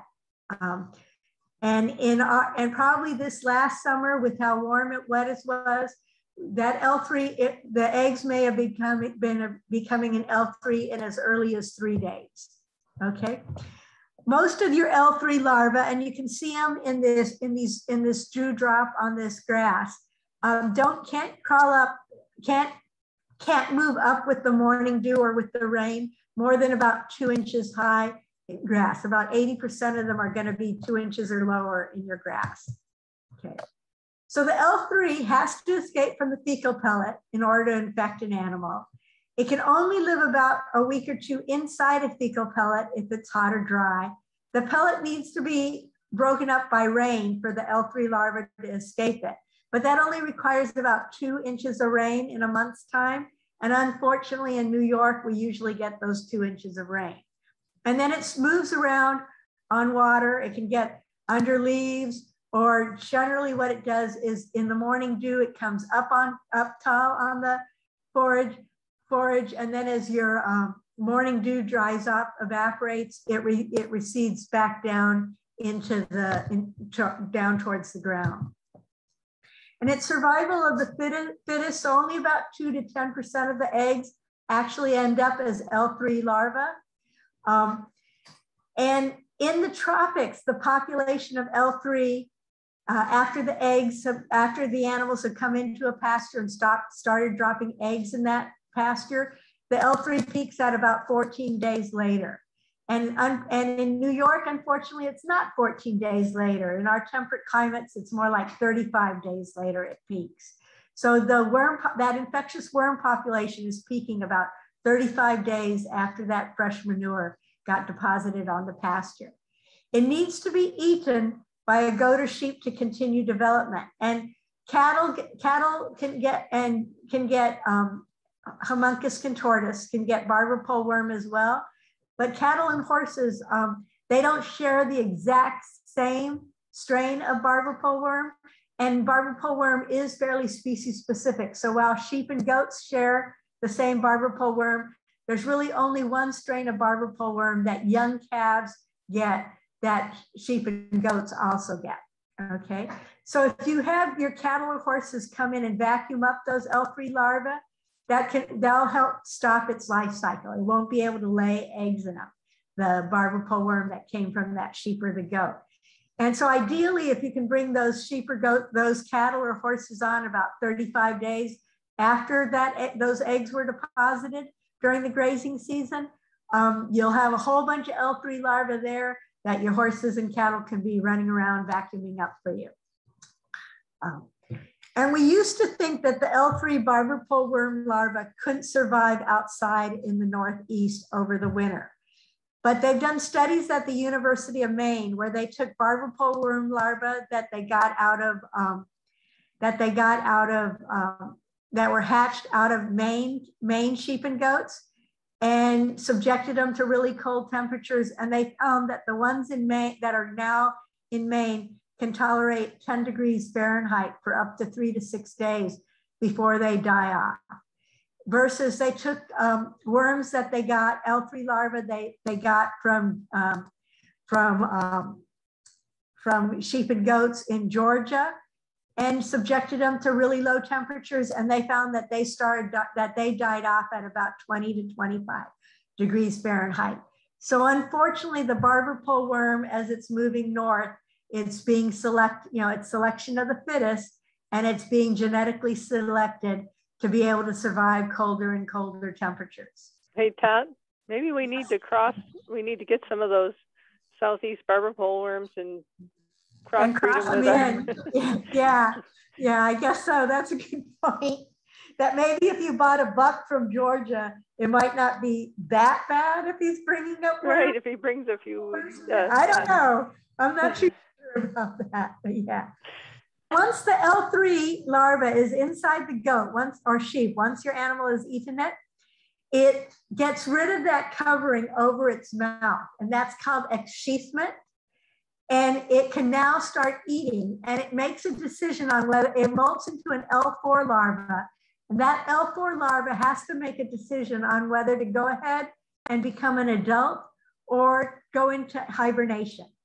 Okay, go into suspended animation. And it makes that decision based on how many adult worms are already in that animal. Um, and if there's already a whole bunch of adult worms there, it goes, whoa, I don't want to become an adult now. There's too much competition. I'm going to hibernate. Or it also gets cues as to whether winter it's wintertime. And in wintertime, it goes, oh, it's not worth being an adult right now. I'm going to go ahead and hibernate. Okay. And I'm going to now talk about evadance or avoidance parasite grazing. And this is when you base a lot of your crazy decisions on the parasites rather than necessarily on the nutrition of your pasture or the health of your pasture as far as the health of the plants, you know, what's healthy for the plants. And so with evasive or avoidance grazing, you want to move your sheep or goats out of that grazing paddock fast enough that you prevent them from getting infected with the feces that they've deposited in that pasture during this this little grazing period. So if you brought them in here three days earlier, you know, the chances are there's no mature larva unless it's been really warm and wet. Um, and so they're not going to get themselves reinfected. If you're leaving them in there seven days, there's a lot more chance that there's infectious larva from the feces that they pooped out the first day they were out there in that pasture, and they can reinfect themselves. And so we usually say that during the grazing season, it takes about five to 14 days to go from being an egg to being an infectious larva. With it being five days when the conditions are warm and wet, and 14 days later on, like in the fall. Okay. So our recommendation normally is to play it safe by moving your animals out of a pasture within about four days during the warm, wet part of the grazing season. So May, June, July, August, and then September, October, November, move them out more like every seven days, move them out of the area. And you also want to move them earlier if the pasture is getting too short, i.e. if it's around three inches or so, you're going to want to move them out even if they've only been there a day or two. Because remember, most of those worms are in the bottom, are in that 80% of the worms are in those bottom two inches. And when there's only three inches of grazing, they're going to be doing a lot of grazing at two inches. So these recommendations about moving the animals out within about four days um, and moving them out before the pastures gotten very short, those are also very helpful when it comes to the pasture regrowing back nice and fast and also and the plants staying nice and healthy and surviving and also when it comes to the nutrition of your pasture all of those recommendations are really good there.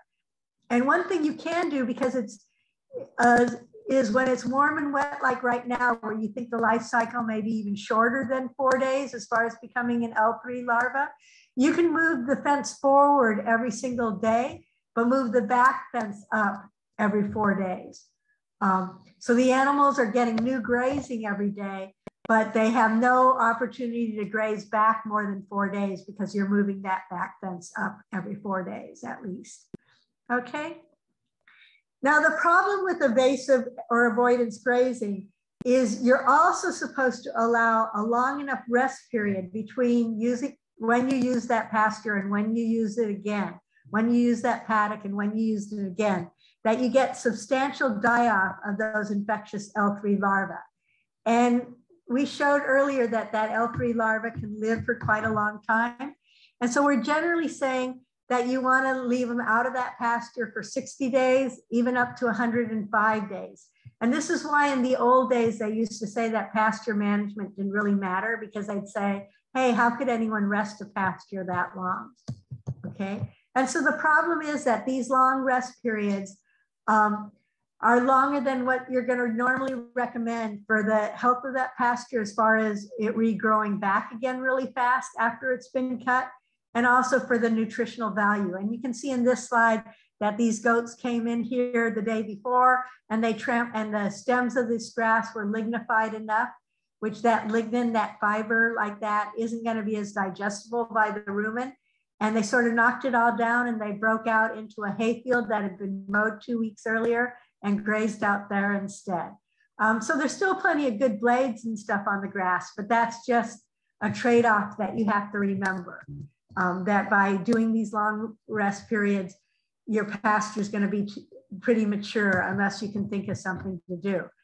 This is a study they did at West Virginia University with their organic sheep flock where some of the animals were um, some of the animals were rotated through the pasture so that they were on a paddock for three days and then it was rested for 57 days before they came back to that same paddock. And then the other sheep were kept in a pasture for seven days and then did not return to that same pasture or paddock for 21 days. And what they found was that the animals where they practiced avoidance grazing had half as many worm eggs, strongyle worm eggs. And they were able to market 83% of the lambs as organic versus in the other pasture, they had twice as many worm, worms and they had to, they had to deworm 53% uh, of the animals and lambs. And so weren't able to market those as, as, um, as organic. And the weight gains were also better on those ones that had the longer rest periods. Uh, probably because they had less of a parasite load. So things you can do, are there safe pastures that you can put your animals onto as the grazing season progresses? Do you have some brush pastures or do you have hayfield regrowth, which we're lucky enough at our farm that that's what we have. Um, starting in July, you know, we can put the animals out on that, July, August. You have pastures that your cattle and horses have been grazing that you can switch your sheep and goats with your horses and cattle? Do you have crop residues? Do you have annual pastures or, um, you know, there's some tall, very, very tall annuals that your animals can graze? Um, or can you disrupt the worm cycle by mowing the pasture extremely short at the beginning of the rest period? Uh, if you've got a 60 day rest period, you know, you can mow it real short and it doesn't matter that that pasture is going to take a long time to grow back. Uh, can you graze another species like horses or cattle there during the rest period? And that's what we do at our farm. We bring our horses onto the pasture about 30 days after the, after the goats have gone through it and have them graze it. Or can you harvest a hay crop or baleage, you know, green chop off of that pasture before you resume grazing? Um, and then, like I said, you can go into some browse, um, but the only problem in New York with browse is that our deer worm um, have a lot of, our, our deer, our white-tailed deer, a lot of them have, have deer worm. Um, but keep in mind that 80% of the worms live in that first two inches of vegetation. Uh, deer worm, unfortunately, the brush snails that have deer worm um, often can climb two feet up in the brush. And then there have been some studies suggesting that grazing high tannin forages uh, may reduce the effects of um, barber pole worm. Okay. And can you control your barnyard effect? Um, so barnyards are really any area you have on the farm that has good forage on it that the animals can eat and unfortunately also has a high amount of manure on it, which means it's got a high amount of contamination with worm eggs. And these barnyards or these pastures that are often uh, the pasture you used over the winter because it was right against the barn, or the one you used for lambing because it was right against the barn. These, unfortunately, these barnyards are little pastures that you're not that you didn't rotate can contribute greatly to herd contamination with internal parasites. Um, Keep in mind that rotational grazing in the spring, even if you can't practice these long rest periods of 60 days to 105 days, still can help reduce this barnyard effect and delay the onset of summer parasite problems. And we did a study where we took three farms in Vermont and one of those farms didn't rotate at all. They just continually grazed a really huge pasture. And then we did the same thing in New York. We took three farms and one of the farms continually grazed a really, really large pasture versus the other two farms on each state uh, rotated their pastures, but they weren't able to do these 60 day rest periods. They did shorter rest periods than that. And by July, you can see that the um, that rotating one and rotating two herds, they had a they had a lot of worms. They had like 3,500 or 2,000 worm eggs. And those farms at that point switched those animals onto hay fields or onto uh, brush pastures or pastures their cattle or cattle had been on or their horses. Um, so they did have worms and it was a good time to move them. But if you look at that pasture that was doing continual, continuous grazing, and this happened at both farms, they had 20, they had almost 24,000 worm eggs per gram or per gram, and they were losing goat kids uh, worms. They were, they were dying from the worms. And so even if you can't do those long rest periods, rotations can still help you. Some options to help reduce barnyard effect are laying down gravel or concrete or spraying with herbicides in those barnyards, closing off access to the barnyard if you bring your animals in at night, just make it so that they can't go into those barnyards. Make the barnyards small enough that there's no real forage growing in them to tempt the animals or put in lanes or leave your animals out 24 seven, you know. Okay. Um, in the spring, we often see a rise in barber pole worm populations. And this is because the barber pole worm has generally overwintered as these dormant, you know, hibernating L4 larvae in the host animals, in the goats and sheep. And it gets two, it gets a couple of different triggers letting it know that springtime has arrived. One, if your animals are giving birth, your sheep and goat, your does and your ewes uh, uh, put out estrogen um, as they're getting ready to give birth. And these and the female worms have uh, estrogen receptors, so they go, "Whoa, worming's going, or lambing and kidding are going on. This is a great time for me to stop being an L4 larva and become an adult worm." Also, um, they have they can tell they can um, they can measure they they're able to get a trigger of the amount of melatonin in those sheep and goats. And so they're able to tell that the day length is changing that the days are getting longer um, and that can help them. Keep in mind also that the immune system in your goats and sheep is going to be is compromised by parturition and it's also compromised by illness regardless of the time of year and when your the immune system is compromised, the L4 larva also gets a trigger that the immune system is com compromised and will become break its dormancy then as well. And this same phenomena occurs in other strongyle worms, but not to the extent that it does in barber pole worm. Okay. This was a study um, at, um, they did at University of Maine with their Icelandic sheep, uh, where they had the sheep in the barn. Um, and then they looked at different ways to control the, the, the spring rise of, um, of worms. And what they did is the blue line here are ewes that went out to pasture May 15th.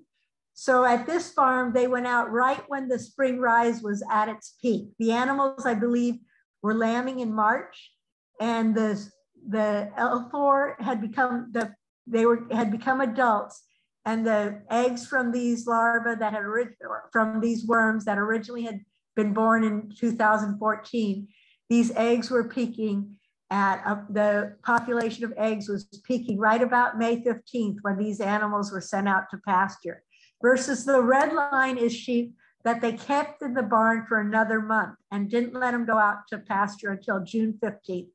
And by that time, um, they were cleaning the barn of manure. You know, they were cleaning the manure out of the barn. And by that time, these L these L4 larvae that had become adults had really stopped a lot, most of their egg laying. Their population had gone way down by then.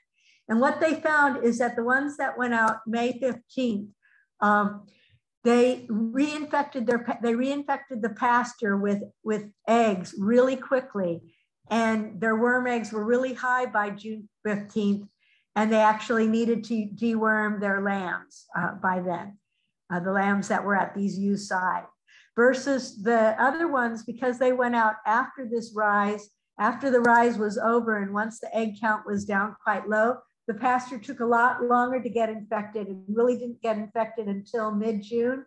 I mean, mid August, and then the cold weather arrived. So they didn't have to worm, deworm most of those lambs. Okay, but unfortunately, of course, they lost a whole month of grazing forage. And I'm not sure how many farmers are going to be willing to keep their animals in the barn and feed them hay for an extra month. Um, I'm now going to switch over to talking about the immune, immune response that animals have to worms. And keep in mind that good nutrition stimulates the immune system. And vitamins such as, or minerals such as selenium, copper, and zinc are all involved, very tightly involved in, in, the, in having a good working immune system. And vitamins such as vitamin E are also really important. So one thing you can do is make sure that your animals are getting a sufficient amount of these vitamin, of their trace minerals and of vitamin E.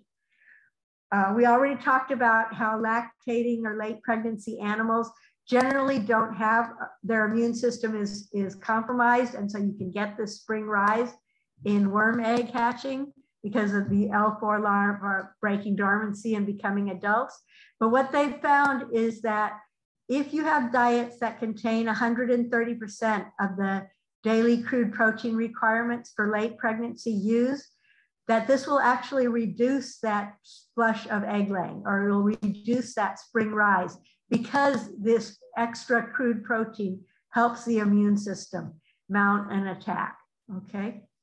And they haven't done these experiments with goats, but the general thought is that it also helps with goats.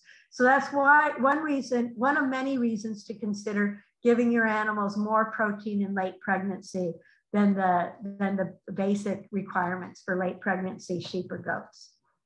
Okay. Um, the last um, National uh, Resource Council recommendations for goats and sheep were done in 2007. And at that time, they upped the requirement for vitamin E for sheep and goats quite a lot.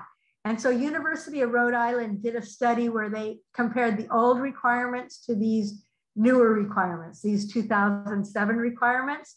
And they took lambs that they had weaned and for their creep feed, they added five international units of vitamin E per kilogram of live weight to the creep feed uh, for half the lambs. And the other half of the lambs, they gave the new requirements, uh, twice as much vitamin E. And, um, and then they artificially infected the lambs with barber pole worm larvae. And they found that the ones that had the higher level of vitamin E in their creep feed had half as many had half as many worm eggs, uh, uh, shed half as many worm eggs. Okay, so that really helps to emphasize the importance of vitamin E. Um, when it comes to genetic resistance to worms, um, keep in mind that yes, um, the, your sheep and goats, not only are they infect, affected by the environment, but they're also affected by the genetics they've inherited.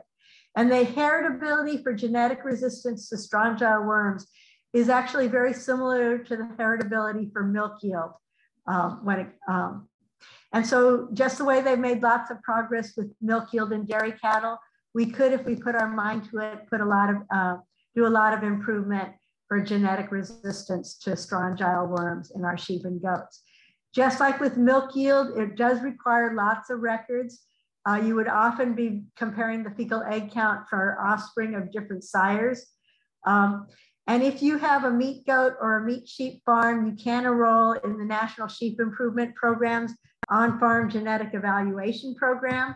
And they look at two traits for worms. Um, these are strongyle worms they're looking at, not strongyloides and not the, cocci not the protozoa coccidia. They're just looking at strongyle worms.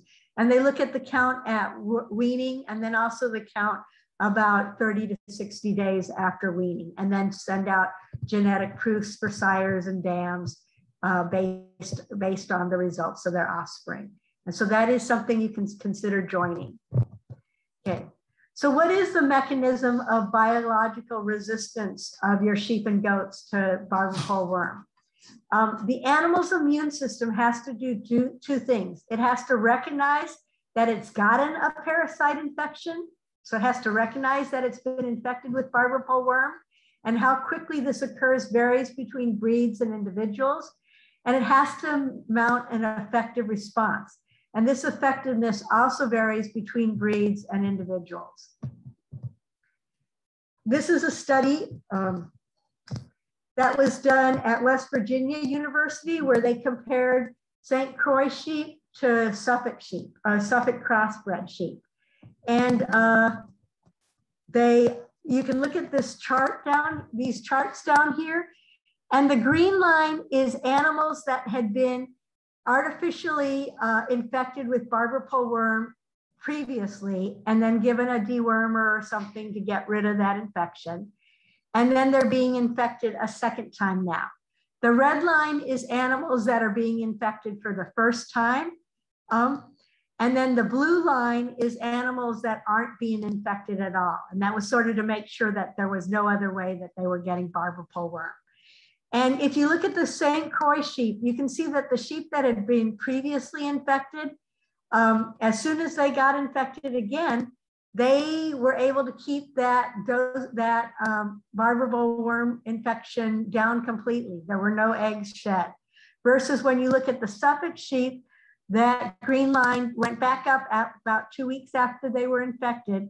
The line went back up and they did, they did show an immune response when they got about 3,000 worm eggs per gram. And it did go down, but then after six weeks, it's starting to go back again. For the animals infected for the first time ever, uh, two weeks after they had been infected, they started hatching out worm eggs, or they started, the, started producing worm eggs in the feces. Um, you know, they had enough adult worms to do that. And the St. Croix sheep realized that about 2,500 worm eggs or so, that, hey, I've been infected. And they mounted an immune response and brought the worm load back down again by five weeks of an, after infection. Versus the Suffolk sheep, it took them until they were about 7,000 worm eggs to realize that they had been infected. And then they mounted an immune response, but it was somewhat short lived. By six weeks, they were starting to go back up again. And if we look at the macrophages that are attacking the worms, you can see that they've attacked these St. Croix, the St. They've attacked this barber pole worm here in the abomasum, or actually I think this is more in a petri dish. Um, and that worm isn't able to move around much, at all. Uh, versus if you look at this prime Suffolk, that even though the macrophagia have attacked it, that worm is still able to move around a lot. And so it probably could still suck blood from the lining of the abomasum. Okay. Um, traditional parasite control uh, in the 70s and 80s sort of plan that you were going to maximize your parasite control, and that would maximize the production from your animals and the health of your animal. And you would deworm the herd regularly. If your dewormer stopped working, there'd be a new dewormer showing up. And you would rotate your dewormers maybe during the year or every other year or something. And you would move the flock onto a clean pasture at the time you dewormed them uh, so that those, those eggs that were hatched, you know, that day or two before that uh, adult worm died wouldn't be contaminating your, your, your pasture. Okay, all of these practices pro unfortunately promoted dewormer resistance to the barber pole worm uh, because of its heavy, being a heavy egg layer and having a short generation interval. And it's now a major problem throughout the US. And this was a study we did here at Cornell in 2007, where we uh, sampled goats at a bunch of New York farms and also some Pennsylvania farms over the border from Elmira and stuff. And we already found in 2007 that about half the, half the herds were already showing a severe resistance to safeguard. And those red checkered ones mean that when you gave the dewormer, it killed off 100% of those worm eggs, or that two weeks later, all the adult worms were killed off because the worm eggs per gram dropped to zero.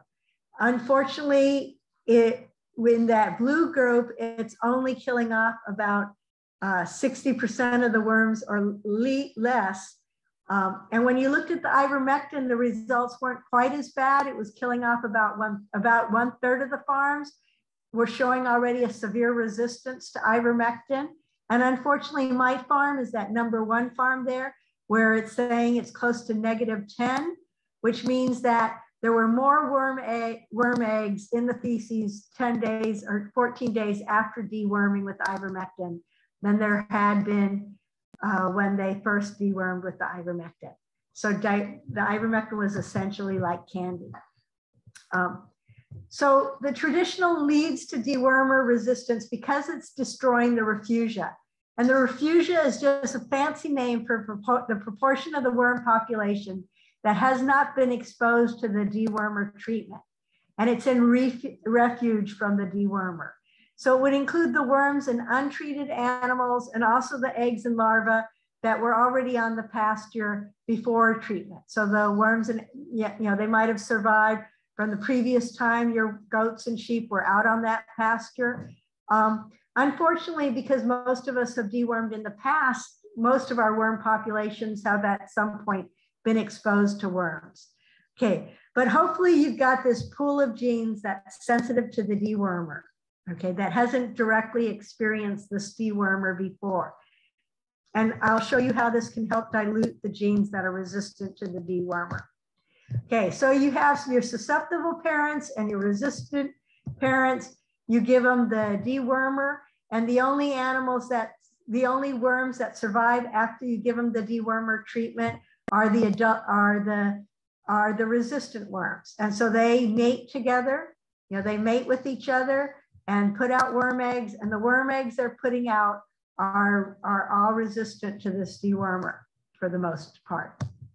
Okay. Um, and I'll go through that a little bit more in a little while, but first I'm going to talk about effective use of dewormers. And few of your dewormers, as Betsy said, are approved for use in goats. Okay. Um, we normally recommend because goats have a fatter race, rate of passage of chemicals through their bodies, um, they have a faster rate of digestion, and they have larger livers than, um, than your sheep or cattle for their, for their me metabolic size. We usually recommend that you give them one and a half to twice the sheep or the cattle dose per pound live weight, okay, when deworming them. And you'll want to talk with your veterinarian. In sheep and goats, you don't want the dewormer to linger in a low amount for a long period of time. So because of that, we don't recommend using pour-on dewormers. And we also don't recommend giving the dewormer as an injection, okay? Because it lingers then as a low amount in the animal and, and can help build up uh, dewormer resistance. Uh, instead, we want you to give it orally at the back of the back behind the tongue. If it goes too close to the front of the mouth, the animal can have a gag effect, which will send it to the true stomach. Um, and um, and it'll break down and that true in the true stomach and the acidity of the true stomach, the dewormer is going to break down faster. And then always observe the proper withdrawal period. Um, and the trouble with dewormers in your feed, like that positive uh, goat pellet, is if you have a lot of animals, it's very hard to make sure that they all got the same amount of dosage in their feed or water. Uh, if you've just got a couple of dairy goats and they're jumping onto a milk stand and you're making sure that they eat it all while they're on the milk stand, you know, that they, then you can control more the amount and make sure that everyone got the right amount. Okay. Um, you can increase the effectiveness of a dewormer once you're starting to see resistance by holding your animals off of feed for 16 hours and then deworming them and keeping them off of feed for 12 more hours. Obviously, you wouldn't want to do this to a late pregnancy ewe or doe because it could easily push her into ketosis. You're not going to want to fast, fast a late pregnancy animal. Also for your ben, for those white uh, paste dewormers, deworming them twice 12 hours apart. So you would give them the full dose 12 hours apart uh, can be very effective.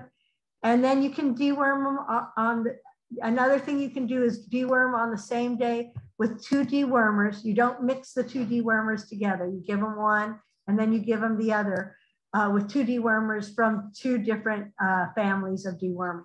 And you would only, um, you would know only do this if you're selectively deworming. You wouldn't do this if you're deworming the whole herd because you're just gonna build up resistance even faster if you're doing it for the whole herd, uh, giving them those two dewormers. Um, there have been a lot of studies that have shown that targeted selective deworming is going to prolong your dewormer efficiency, uh, uh, is, is going to uh, uh, delay that dewormer resistance. And um, this is, and it's Keep in mind that your parasites aren't equally distributed in all individuals. You've got that bell-shaped curve, just the way you do with milk yield. Some animals are more resistant than other animals. About 20 to 30% of your sheep and goats in a flock will harbor about 80% of the worms. And those 20 or 30% are gonna be responsible for most of the egg output and most of the pasture contamination. So you just need to deworm those animals, not the entire flock okay? And so here's an example in a goat herd. Each one of these pink bars is an individual goat and one third of the goats are carrying 80% of the worms. Okay, so if you could deworm that one third of the goats, it would, um, it would, it would really cut down on your pasture contamination.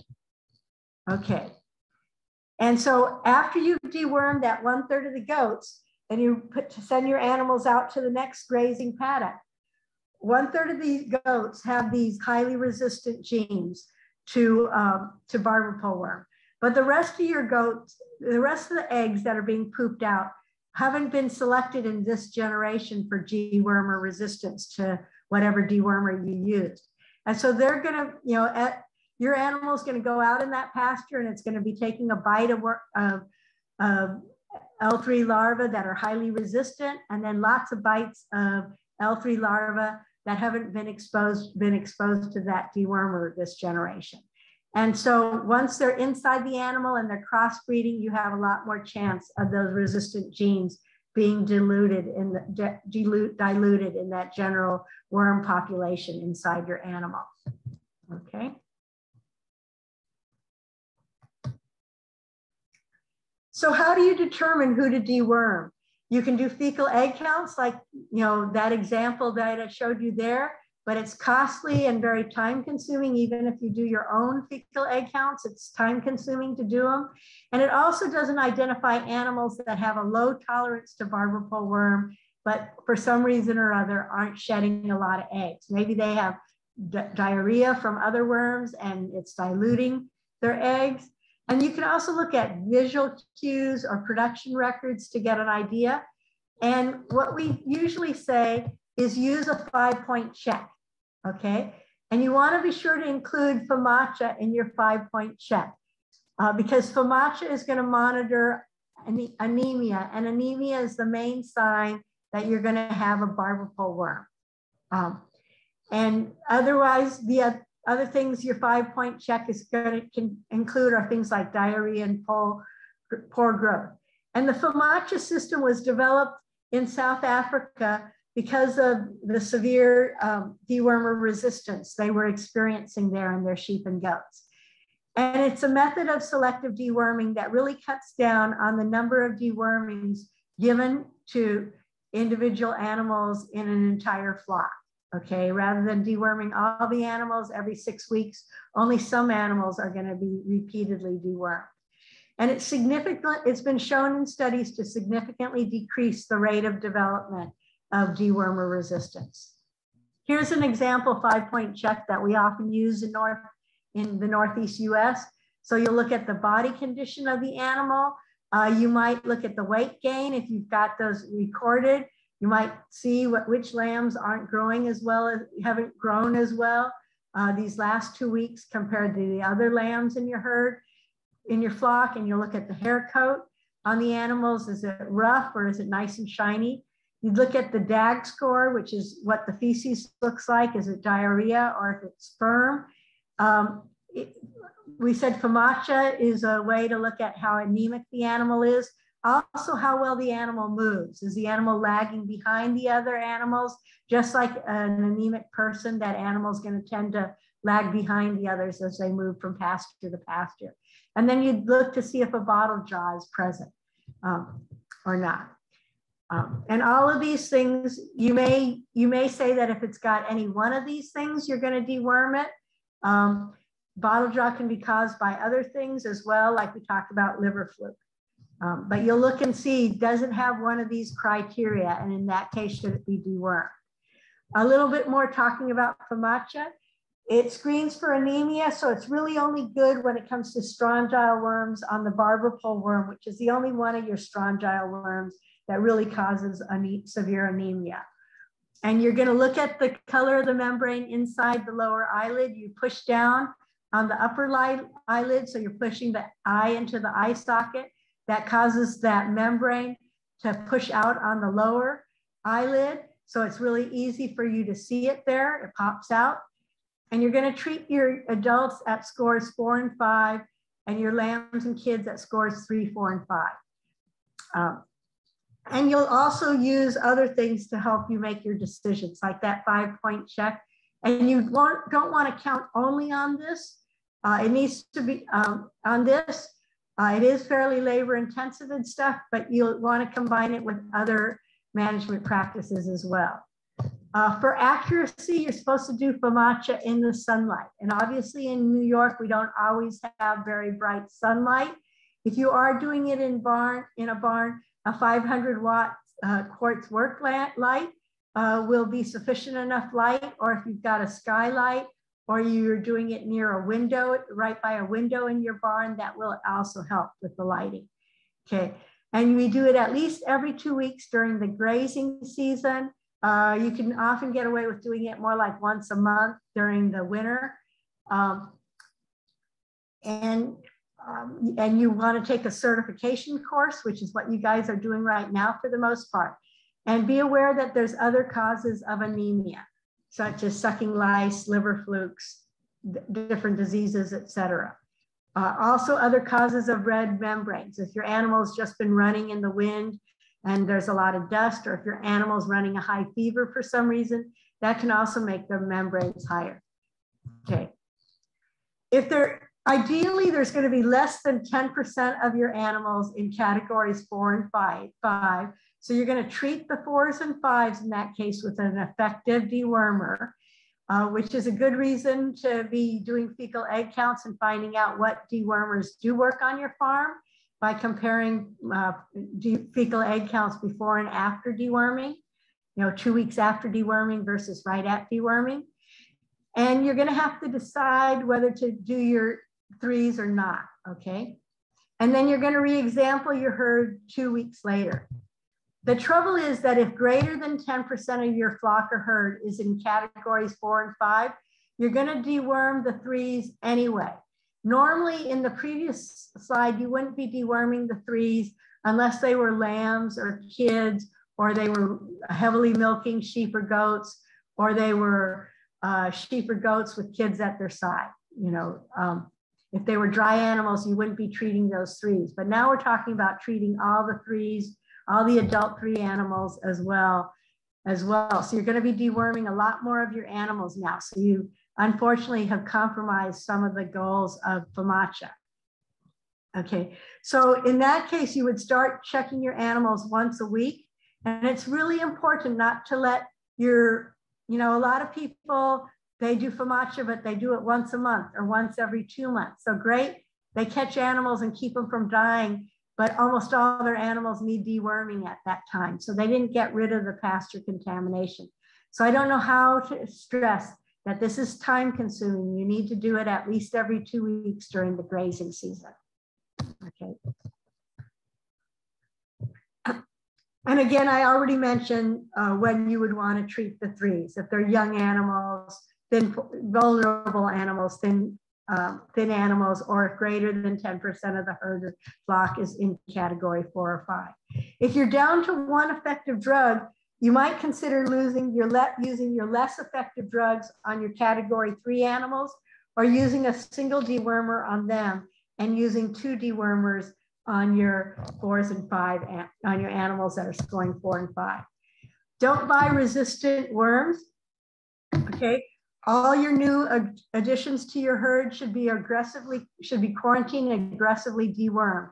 And we generally recommend that you deworm them with all three dewormer classes or families. And again, don't mix them to, together, mix them, give them separately on the same day. And then keep your animals in quarantine for at least two weeks. Don't put their manure out on your pasture because that manure is going to have eggs in it that were resistant to both of those or to all three of those dewormers. So those are super worms. Instead, compost those worms or put them in your garden or something. And if possible, perform fecal egg counts to confirm that you've gotten rid of most, most or all your worms. Okay, so that's nine o'clock. I'm gonna go ahead and continue on with part three with what's in our future. And this is gonna take about 15 minutes, I believe. And there's five different things I'm going to talk about and where these five things are at currently. Okay? Okay. So the first of these is a fecal fungus um, called Duddingtonia flagrans. Grants. And it's marketed right now in one form by Premier. You can also order it, um, order, order the other form of it as well. And there are about 100 species of nematode eating fungi. Okay, and uh, many of them are found in livestock feces because they, you know, nature knows that there's lots of eggs in that feces that are going to hatch out and become worms. And so Duddingtonia uh, actually uh, it hatches out in that feces along with those worms, and it uh, it, last, it essentially lassos those worms those L2, and L2 larvae and gobbles them up. And there's two products that are made by International Animal Health that are approved in the United States. One's BioWorma, and this is the one that you have to contact International Animal Health to order it directly from them. And that one, uh, your mill can order it, or you can order it to be top dressed or incorporated into a feed. And University of Rhode Island is looking at what happens if you mix that into a minerals into your salt. Um, how effective is it? Can you mix it into 50 pounds of salt and then give it every day after that? Or do you have to mix it in every single day is one of the things they're looking at. And then uh, Livamol is the one that's marketed by uh, Premier. And this is a feed supplement. It's, our, it's a pelleted feed supplement, or it's a feed, I don't know actually if it's pelleted, um, but it's a feed supplement that you can feed your animals while they're out on pasture and, and they can eat it. Okay, uh, so, so the bioworma you would need to use for your grass-fed animals because I think the Livamol has more in it than just alfalfa meal. Okay, and both of these have been approved for organic farms in Australia and they are seeking approval for organic farms in the United States. So the spore, the fungal spores survive passage through the digestive tract. They don't kill the animal while they're in the digestive tract. They remain spores in the digestive tract. Um, then they germinate, and it's in the feces that they attack.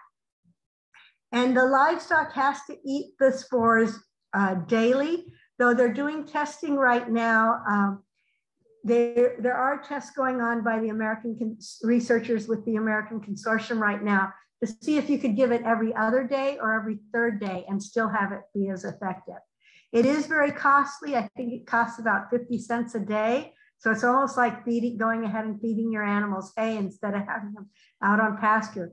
There have been some palatability issues with it, though normally after the first few days, your animals start, start going ahead and eating it. Okay. Uh, there was a vaccine that was developed in Australia. It's unlikely to be, uh, to be offered in the United States, in part because they still can't synthesize the antigen uh, for barber pole worm. Instead, what they're having to do is they're having to harvest the antigen by centrifuging worms from lambs and sheep or from sheep that they've slaughtered in slaughterhouses in Australia and then they harvest the antigen from those worms. So they get, you know, some of the worms that come into those slaughterhouses are heavily parasitized and they're able to centrifuge those worms and get that antigen.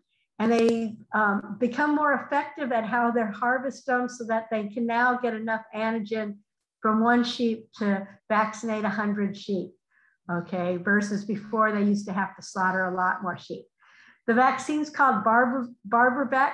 It did not function that reliably in goats, so it did not get licensed for goat, was unable to get licensed for goats in Australia. And it requires five injections. After the first three primers, your animals do have some temporary um, uh, resistance to barber pole worm and then you need to give two more boosters six weeks apart. So the idea in Australia was that you would give this to lambs.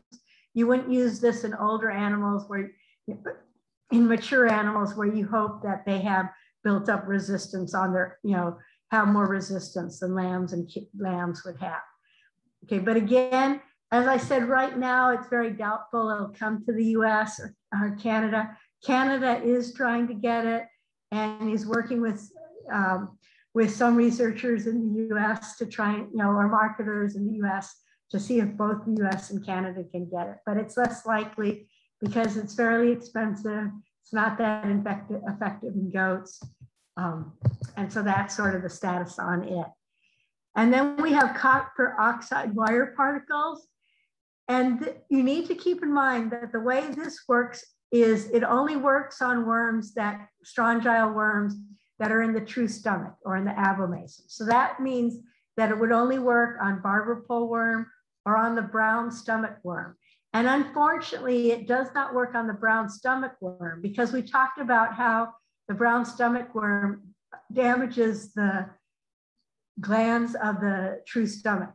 And when it damages those glands, it damages the production of the gastric juices.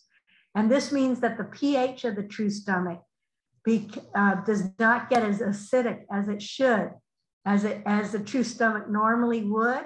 And what they found is the copper oxide wire particles dissolve in the true stomach because of those gastric juices, because of the acidity of the true stomach. That's why it doesn't work if it lodges, if these uh, wire particles lodge in the rumen. The rumen's not acidic enough to, to, to, um, to dissolve them. And so if your animal has a heavy infection of brown stomach worm, the copper oxide wire particles will not dissolve in the true stomach and you won't get, um, you won't get, you, you won't be able to get this copper released. So the copper won't um, work as a supplement for your animal if you're trying to supplement the animal's copper. And it also won't work to kill your barber pole worm because it's not dissolving. And generally what we're hoping for is that it dissolves and it causes lesions on the barber pole worm and makes the worm weaker and more susceptible to the immune system attacking it, and also just more susceptible to dying and not laying a lot of eggs. And we also believe that if your animals are a little deficient in copper, that it gives your animals a little bit of a copper boost and also helps your animal, helps, helps the immune system be more, function more. Now you cannot, you all, you all are probably aware that sheep are very susceptible to copper poisoning. And so we found that this only, that when this works, it works at very low dosages. And I'll talk about that a little later.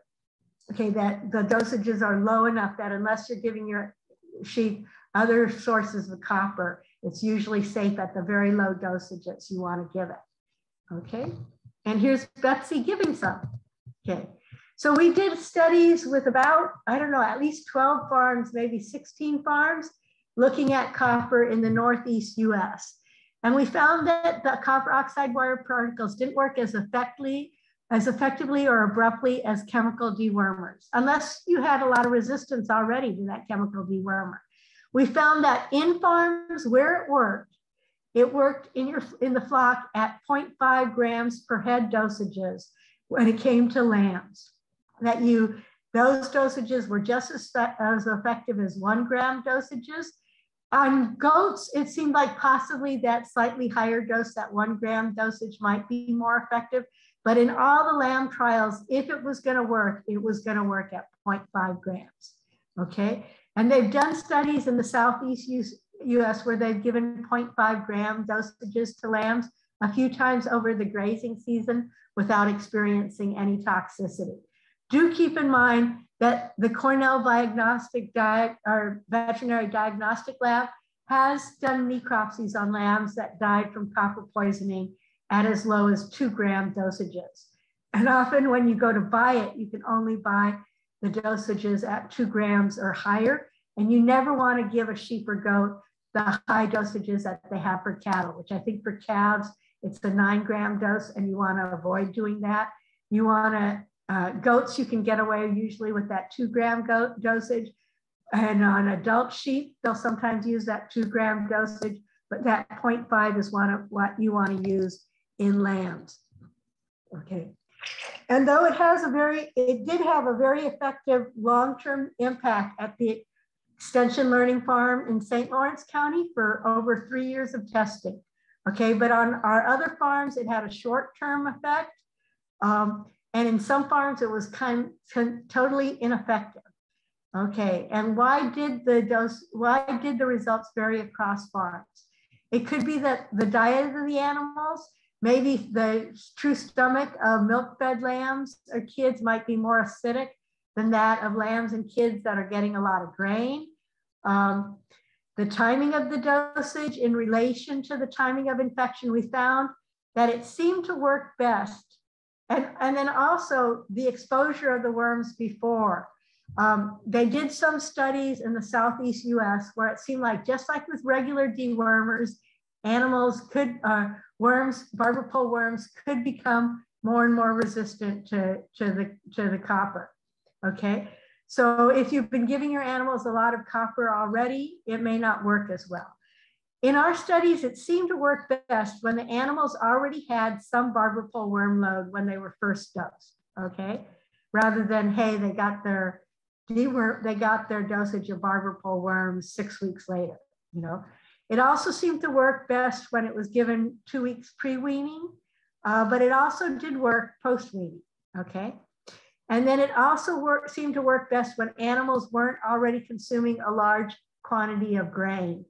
Um, and it may be that it works be, well before weaning or before animals are eating a lot of hay or grain because it doesn't accidentally lodge in the rumen. Uh, maybe because the animals aren't eating as much grass and grain. Instead, it's able to go directly to the true stomach. We're not sure. Okay. We need more controlled studies looking at why we have this effect differ so much from farm to farm. So if you use copper oxide wire particles, be sure to check your animals and see, um, you know, do a check on them, a fecal egg count on them 14 days later to see if your flock is one of those flocks where it's effective or if your flock is one of those flocks where it's not very effective. Okay. It, they've also found that grazing a forage legume Sericea lespedeza in the Southeast US um, appeared to really uh, cut down on the barber pole worm. It seemed to reduce the hatching of viable eggs, and it also seemed to inhibit that L4-3 larva becoming an L4 larva and getting rid of that sheath that's covering its mouth. It has to get rid of that sheath in order to suck blood. But unfortunately, Sericea lespedeza is not winter hardy in the Northeast US, uh, but bird's foot trefoil is. So we did do a bunch of studies with bird's foot trefoil. Uh, and the thought is that it's supposed to be the condensed tannins, particularly condensed tannins in the Sericea lespedeza uh, that cause, um, cause, cause these uh, problems for the barber pole worm. Um, not all tannins seem to work. Um, they haven't had really good luck with oak or with grape pulp in general. They seem to have promising results with cranberry leaves at University of Rhode Island, but then when they did further studies, it didn't seem to bear it out. In the Southeast US, they've done some studies with ground pine bark where it seemed to help. Um, it's really hard to know. In our studies, and we're still doing some later studies right now, we did find that animals that got the bird's foot trefoil versus conventional pastures uh, appeared to be more resilient as far as to barber pole worm, as far as they seem to have better FAMACHA scores, they seem to gain, gain weight better. Um, there has been some thought that there might be other compounds in bird's foot trefoil besides the condensed tannins that help to boost their immune system. Uh, bird's foot trefoil, because of the high tannins in it, should have uh, more bypass protein. And there's been studies that have seemed to show that uh, rumen bypass protein, a certain um, a, a, higher percentage than is normally required for the animal, can help to boost the immune system. Uh, so we did tend to get better FAMACHA scores. We also found that grass-fed lambs and kids that were growing on lush bird's foot trefoil pastures grew better uh, for the most part than the ones that were grazing control pastures. But we couldn't rule out nutrition. In a lot of these cases, the control pastures didn't have nearly as much crude protein as the bird's foot pastures. The bird's foot pastures were often 18 to 20% crude protein, so really high in protein. And um, so, so in these later studies, we were supposed to look at nutrition, but they didn't work out all that well. And, and uh, we often had that same problem that the control pastures weren't as nutritious. If you are a grass-fed farm, we did find that um, animals grew really well on the bird's foot trefoil pastures. They often gained a third to up to close to a half a pound of weight gain a day on those pastures. And we also found that, that if you gave copper wire particles and, and bird's foot trefoil, they seemed to work together and to be more effective, that they didn't cancel each other out. So whatever's causing one to be effective wasn't necessarily what was causing the other one to be effective. Okay. Uh, the last thing I'm going to discuss is a crystal protein, Cry5B, that is made by the soil bacteria Bacillus thuringiensis. And some of you, if you do organic farming or you have a vegetable garden, have used Bacillus thuringiensis before. It's highly effective against uh, other worms such as the tomato uh, hornworm or the corn earworm. Um, unfortunately, if you give Bacillus thuringiensis to your sheep or goat, it's denatured in the rumen. So it doesn't help to just give it to your sheep or goat. Um, and when they tried to isolate out the cry proteins from the Bacillus thuringiensis and give them to the um, barber pole worm, egg worms, or give them to the sheep and goats, it was the same thing. It did, it wasn't stable in the in the ruminant, in, stable in the ruminant digestive tract. However, they've discovered that if they um, take those Cry5B crystals and they put them inside dead BT cell walls, that they are able to pass through the um, through the rumen and they reduce the and they reduce the fecal egg counts by 90%. So they seem to really affect the viability of the eggs. They also found that they seem to kill off the adult worms, particularly the adult female worms within the animal. Uh, they female worms were killed off about 96%, and males it was a lot less. So about 72% of the adult worms in the animal were killed off. and it seems to be fairly cheap compared to the vaccine. And so there's further testing going on at University of Rhode Island. I think Kentucky is looking at it with horse with worms and horses. Um, and um, and we'll see how it works out. Um, they're right now they've got high hopes for it. It probably wouldn't be approved for organic because they're having to use uh, gene therapy to to get those um, to isolate out those Cry5B 5B crystals and inject them into the dead BT cell walls. And so I thank you all for putting up with this long, long presentation. And are there any questions? And I'm going to go ahead and stop the share now. Um, okay.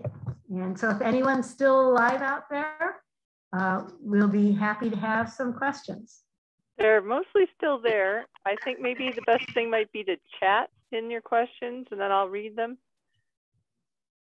Uh, which there might be one there now. Hang on. Oh, thank you. Someone had a choke, had a joke, or no? Oh yeah, no, that's Olivia talking about killing her alpaca, the earworm. Yep, it, it's um. We gave you a lot of information. Like I said, it wouldn't hurt to watch the one uh, again. You know, in a week or two, when you've digested a little of this, uh, to get some of the basics. You know, sort of wraps uh, summarizes what we were talking about in great detail at the uh, Wormx. I will send that link. And as well as the Wormx one, we recorded this one, correct? And yes. also, like I said, Cornell does have a website called the Cornell Small Ruminant Parasite website, parasite research website. And if you go to that and look on the ed education page, some of these PowerPoints are there that you can just look at in your own, you know, at your own, own sweet time. I think the ones we did in 2019 are there. And many of the tables that Betsy's going to be giving you are there as well. So there's a question here from Daniel that says, can valbazen be used in pregnant ewes after the first month? Uh, after the first trimester, it would be.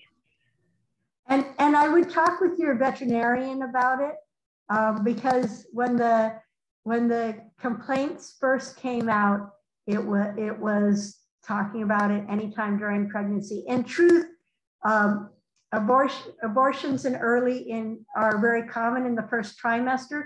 So we'll often say it's better to avoid most dewormers in the early trimester. That's why you'll often deworm your sheep and goats right as you're putting the ram in, ram or buck in, you'll deworm them right then because it doesn't take much to make an animal abort in that first six week period. Uh, but but yes, it's supposed to. It technically it should be safe in that in um, after that first six weeks, uh, the valbazen. But and I know that yeah, I don't know if you remember, but when you were having the fluke, the liver fluke problem, um, it was suggested that you use valbazen, and you, and the problem was that some of your animals were still in that. We're pregnant. Yep. Yeah. And so that's the trouble, you know, they're infected with deerworm or with, with the deer fluke. You realize, you know, they're infected and they're also, you know, that's in the fall and you're breeding them right then, you know, and you're going, right.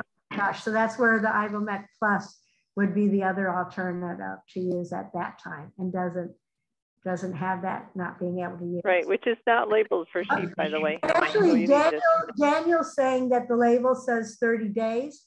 And so uh -huh you know, I would, both Betsy and I would probably say follow what the label says, you know.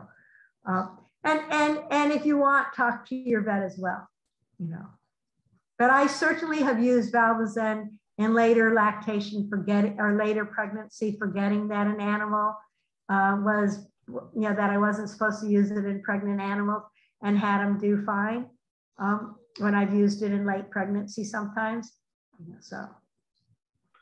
I, I also wanted to mention that there's quite a few people on this talk that are from areas that have a, a longer grazing system and maybe a little different weather pattern. So I think we told you enough so you can make adjustments, but um, just keep that in mind when you're doing your strategies. Yeah. Well, we must have worn them all out. I think so. And, but and I'm looking forward to seeing some of you over the next few days uh, for the hands-on lab. Be sure you bring a fecal sample if you can get one from your uh, sheep and goats. I think I sent out instructions on that already. And wear clothes that you can wear in the barn since we will be handling animals. Prefer you not wear your barn boots from your barn, although we can disinfect them if they're rubber boots.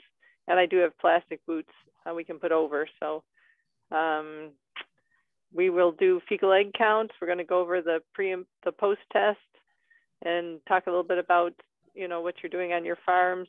And we're going to do FAMACHA in the barn with the animals. So.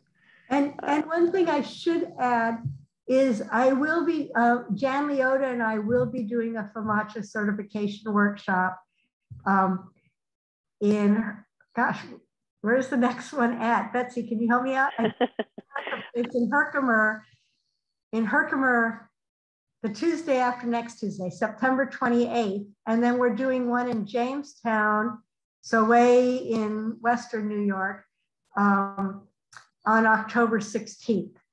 And I would have a suspicion that you might be able to, if you if you live in those local areas and you've taken this one but need to do the hands-on part, you may be able to come and do the hands-on part there if you talk to those uh, extension educators directly. I believe Ashley McFarland is hosting the one in Herkimer and Lisa Kapinski is hosting the one in Jamestown. Yeah, that would be great because there were some people from out of the area that were um, trying to get the hands-on part. That would be great. The other thing you can do is um, if you are in, if you are on NSIP, uh, National Sheep Improvement Program, or if you raise breeding stock and have sheep or have a meat sheep, a meat goat breed, you can talk to NSIP, or you, you can see if um, University of Rhode Island was offering free fecal sampling um, to a limited amount of farms in the Northeast US.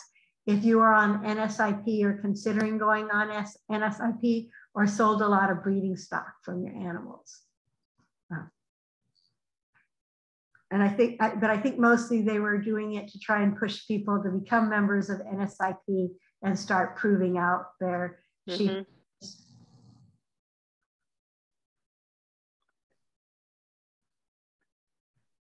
Okay.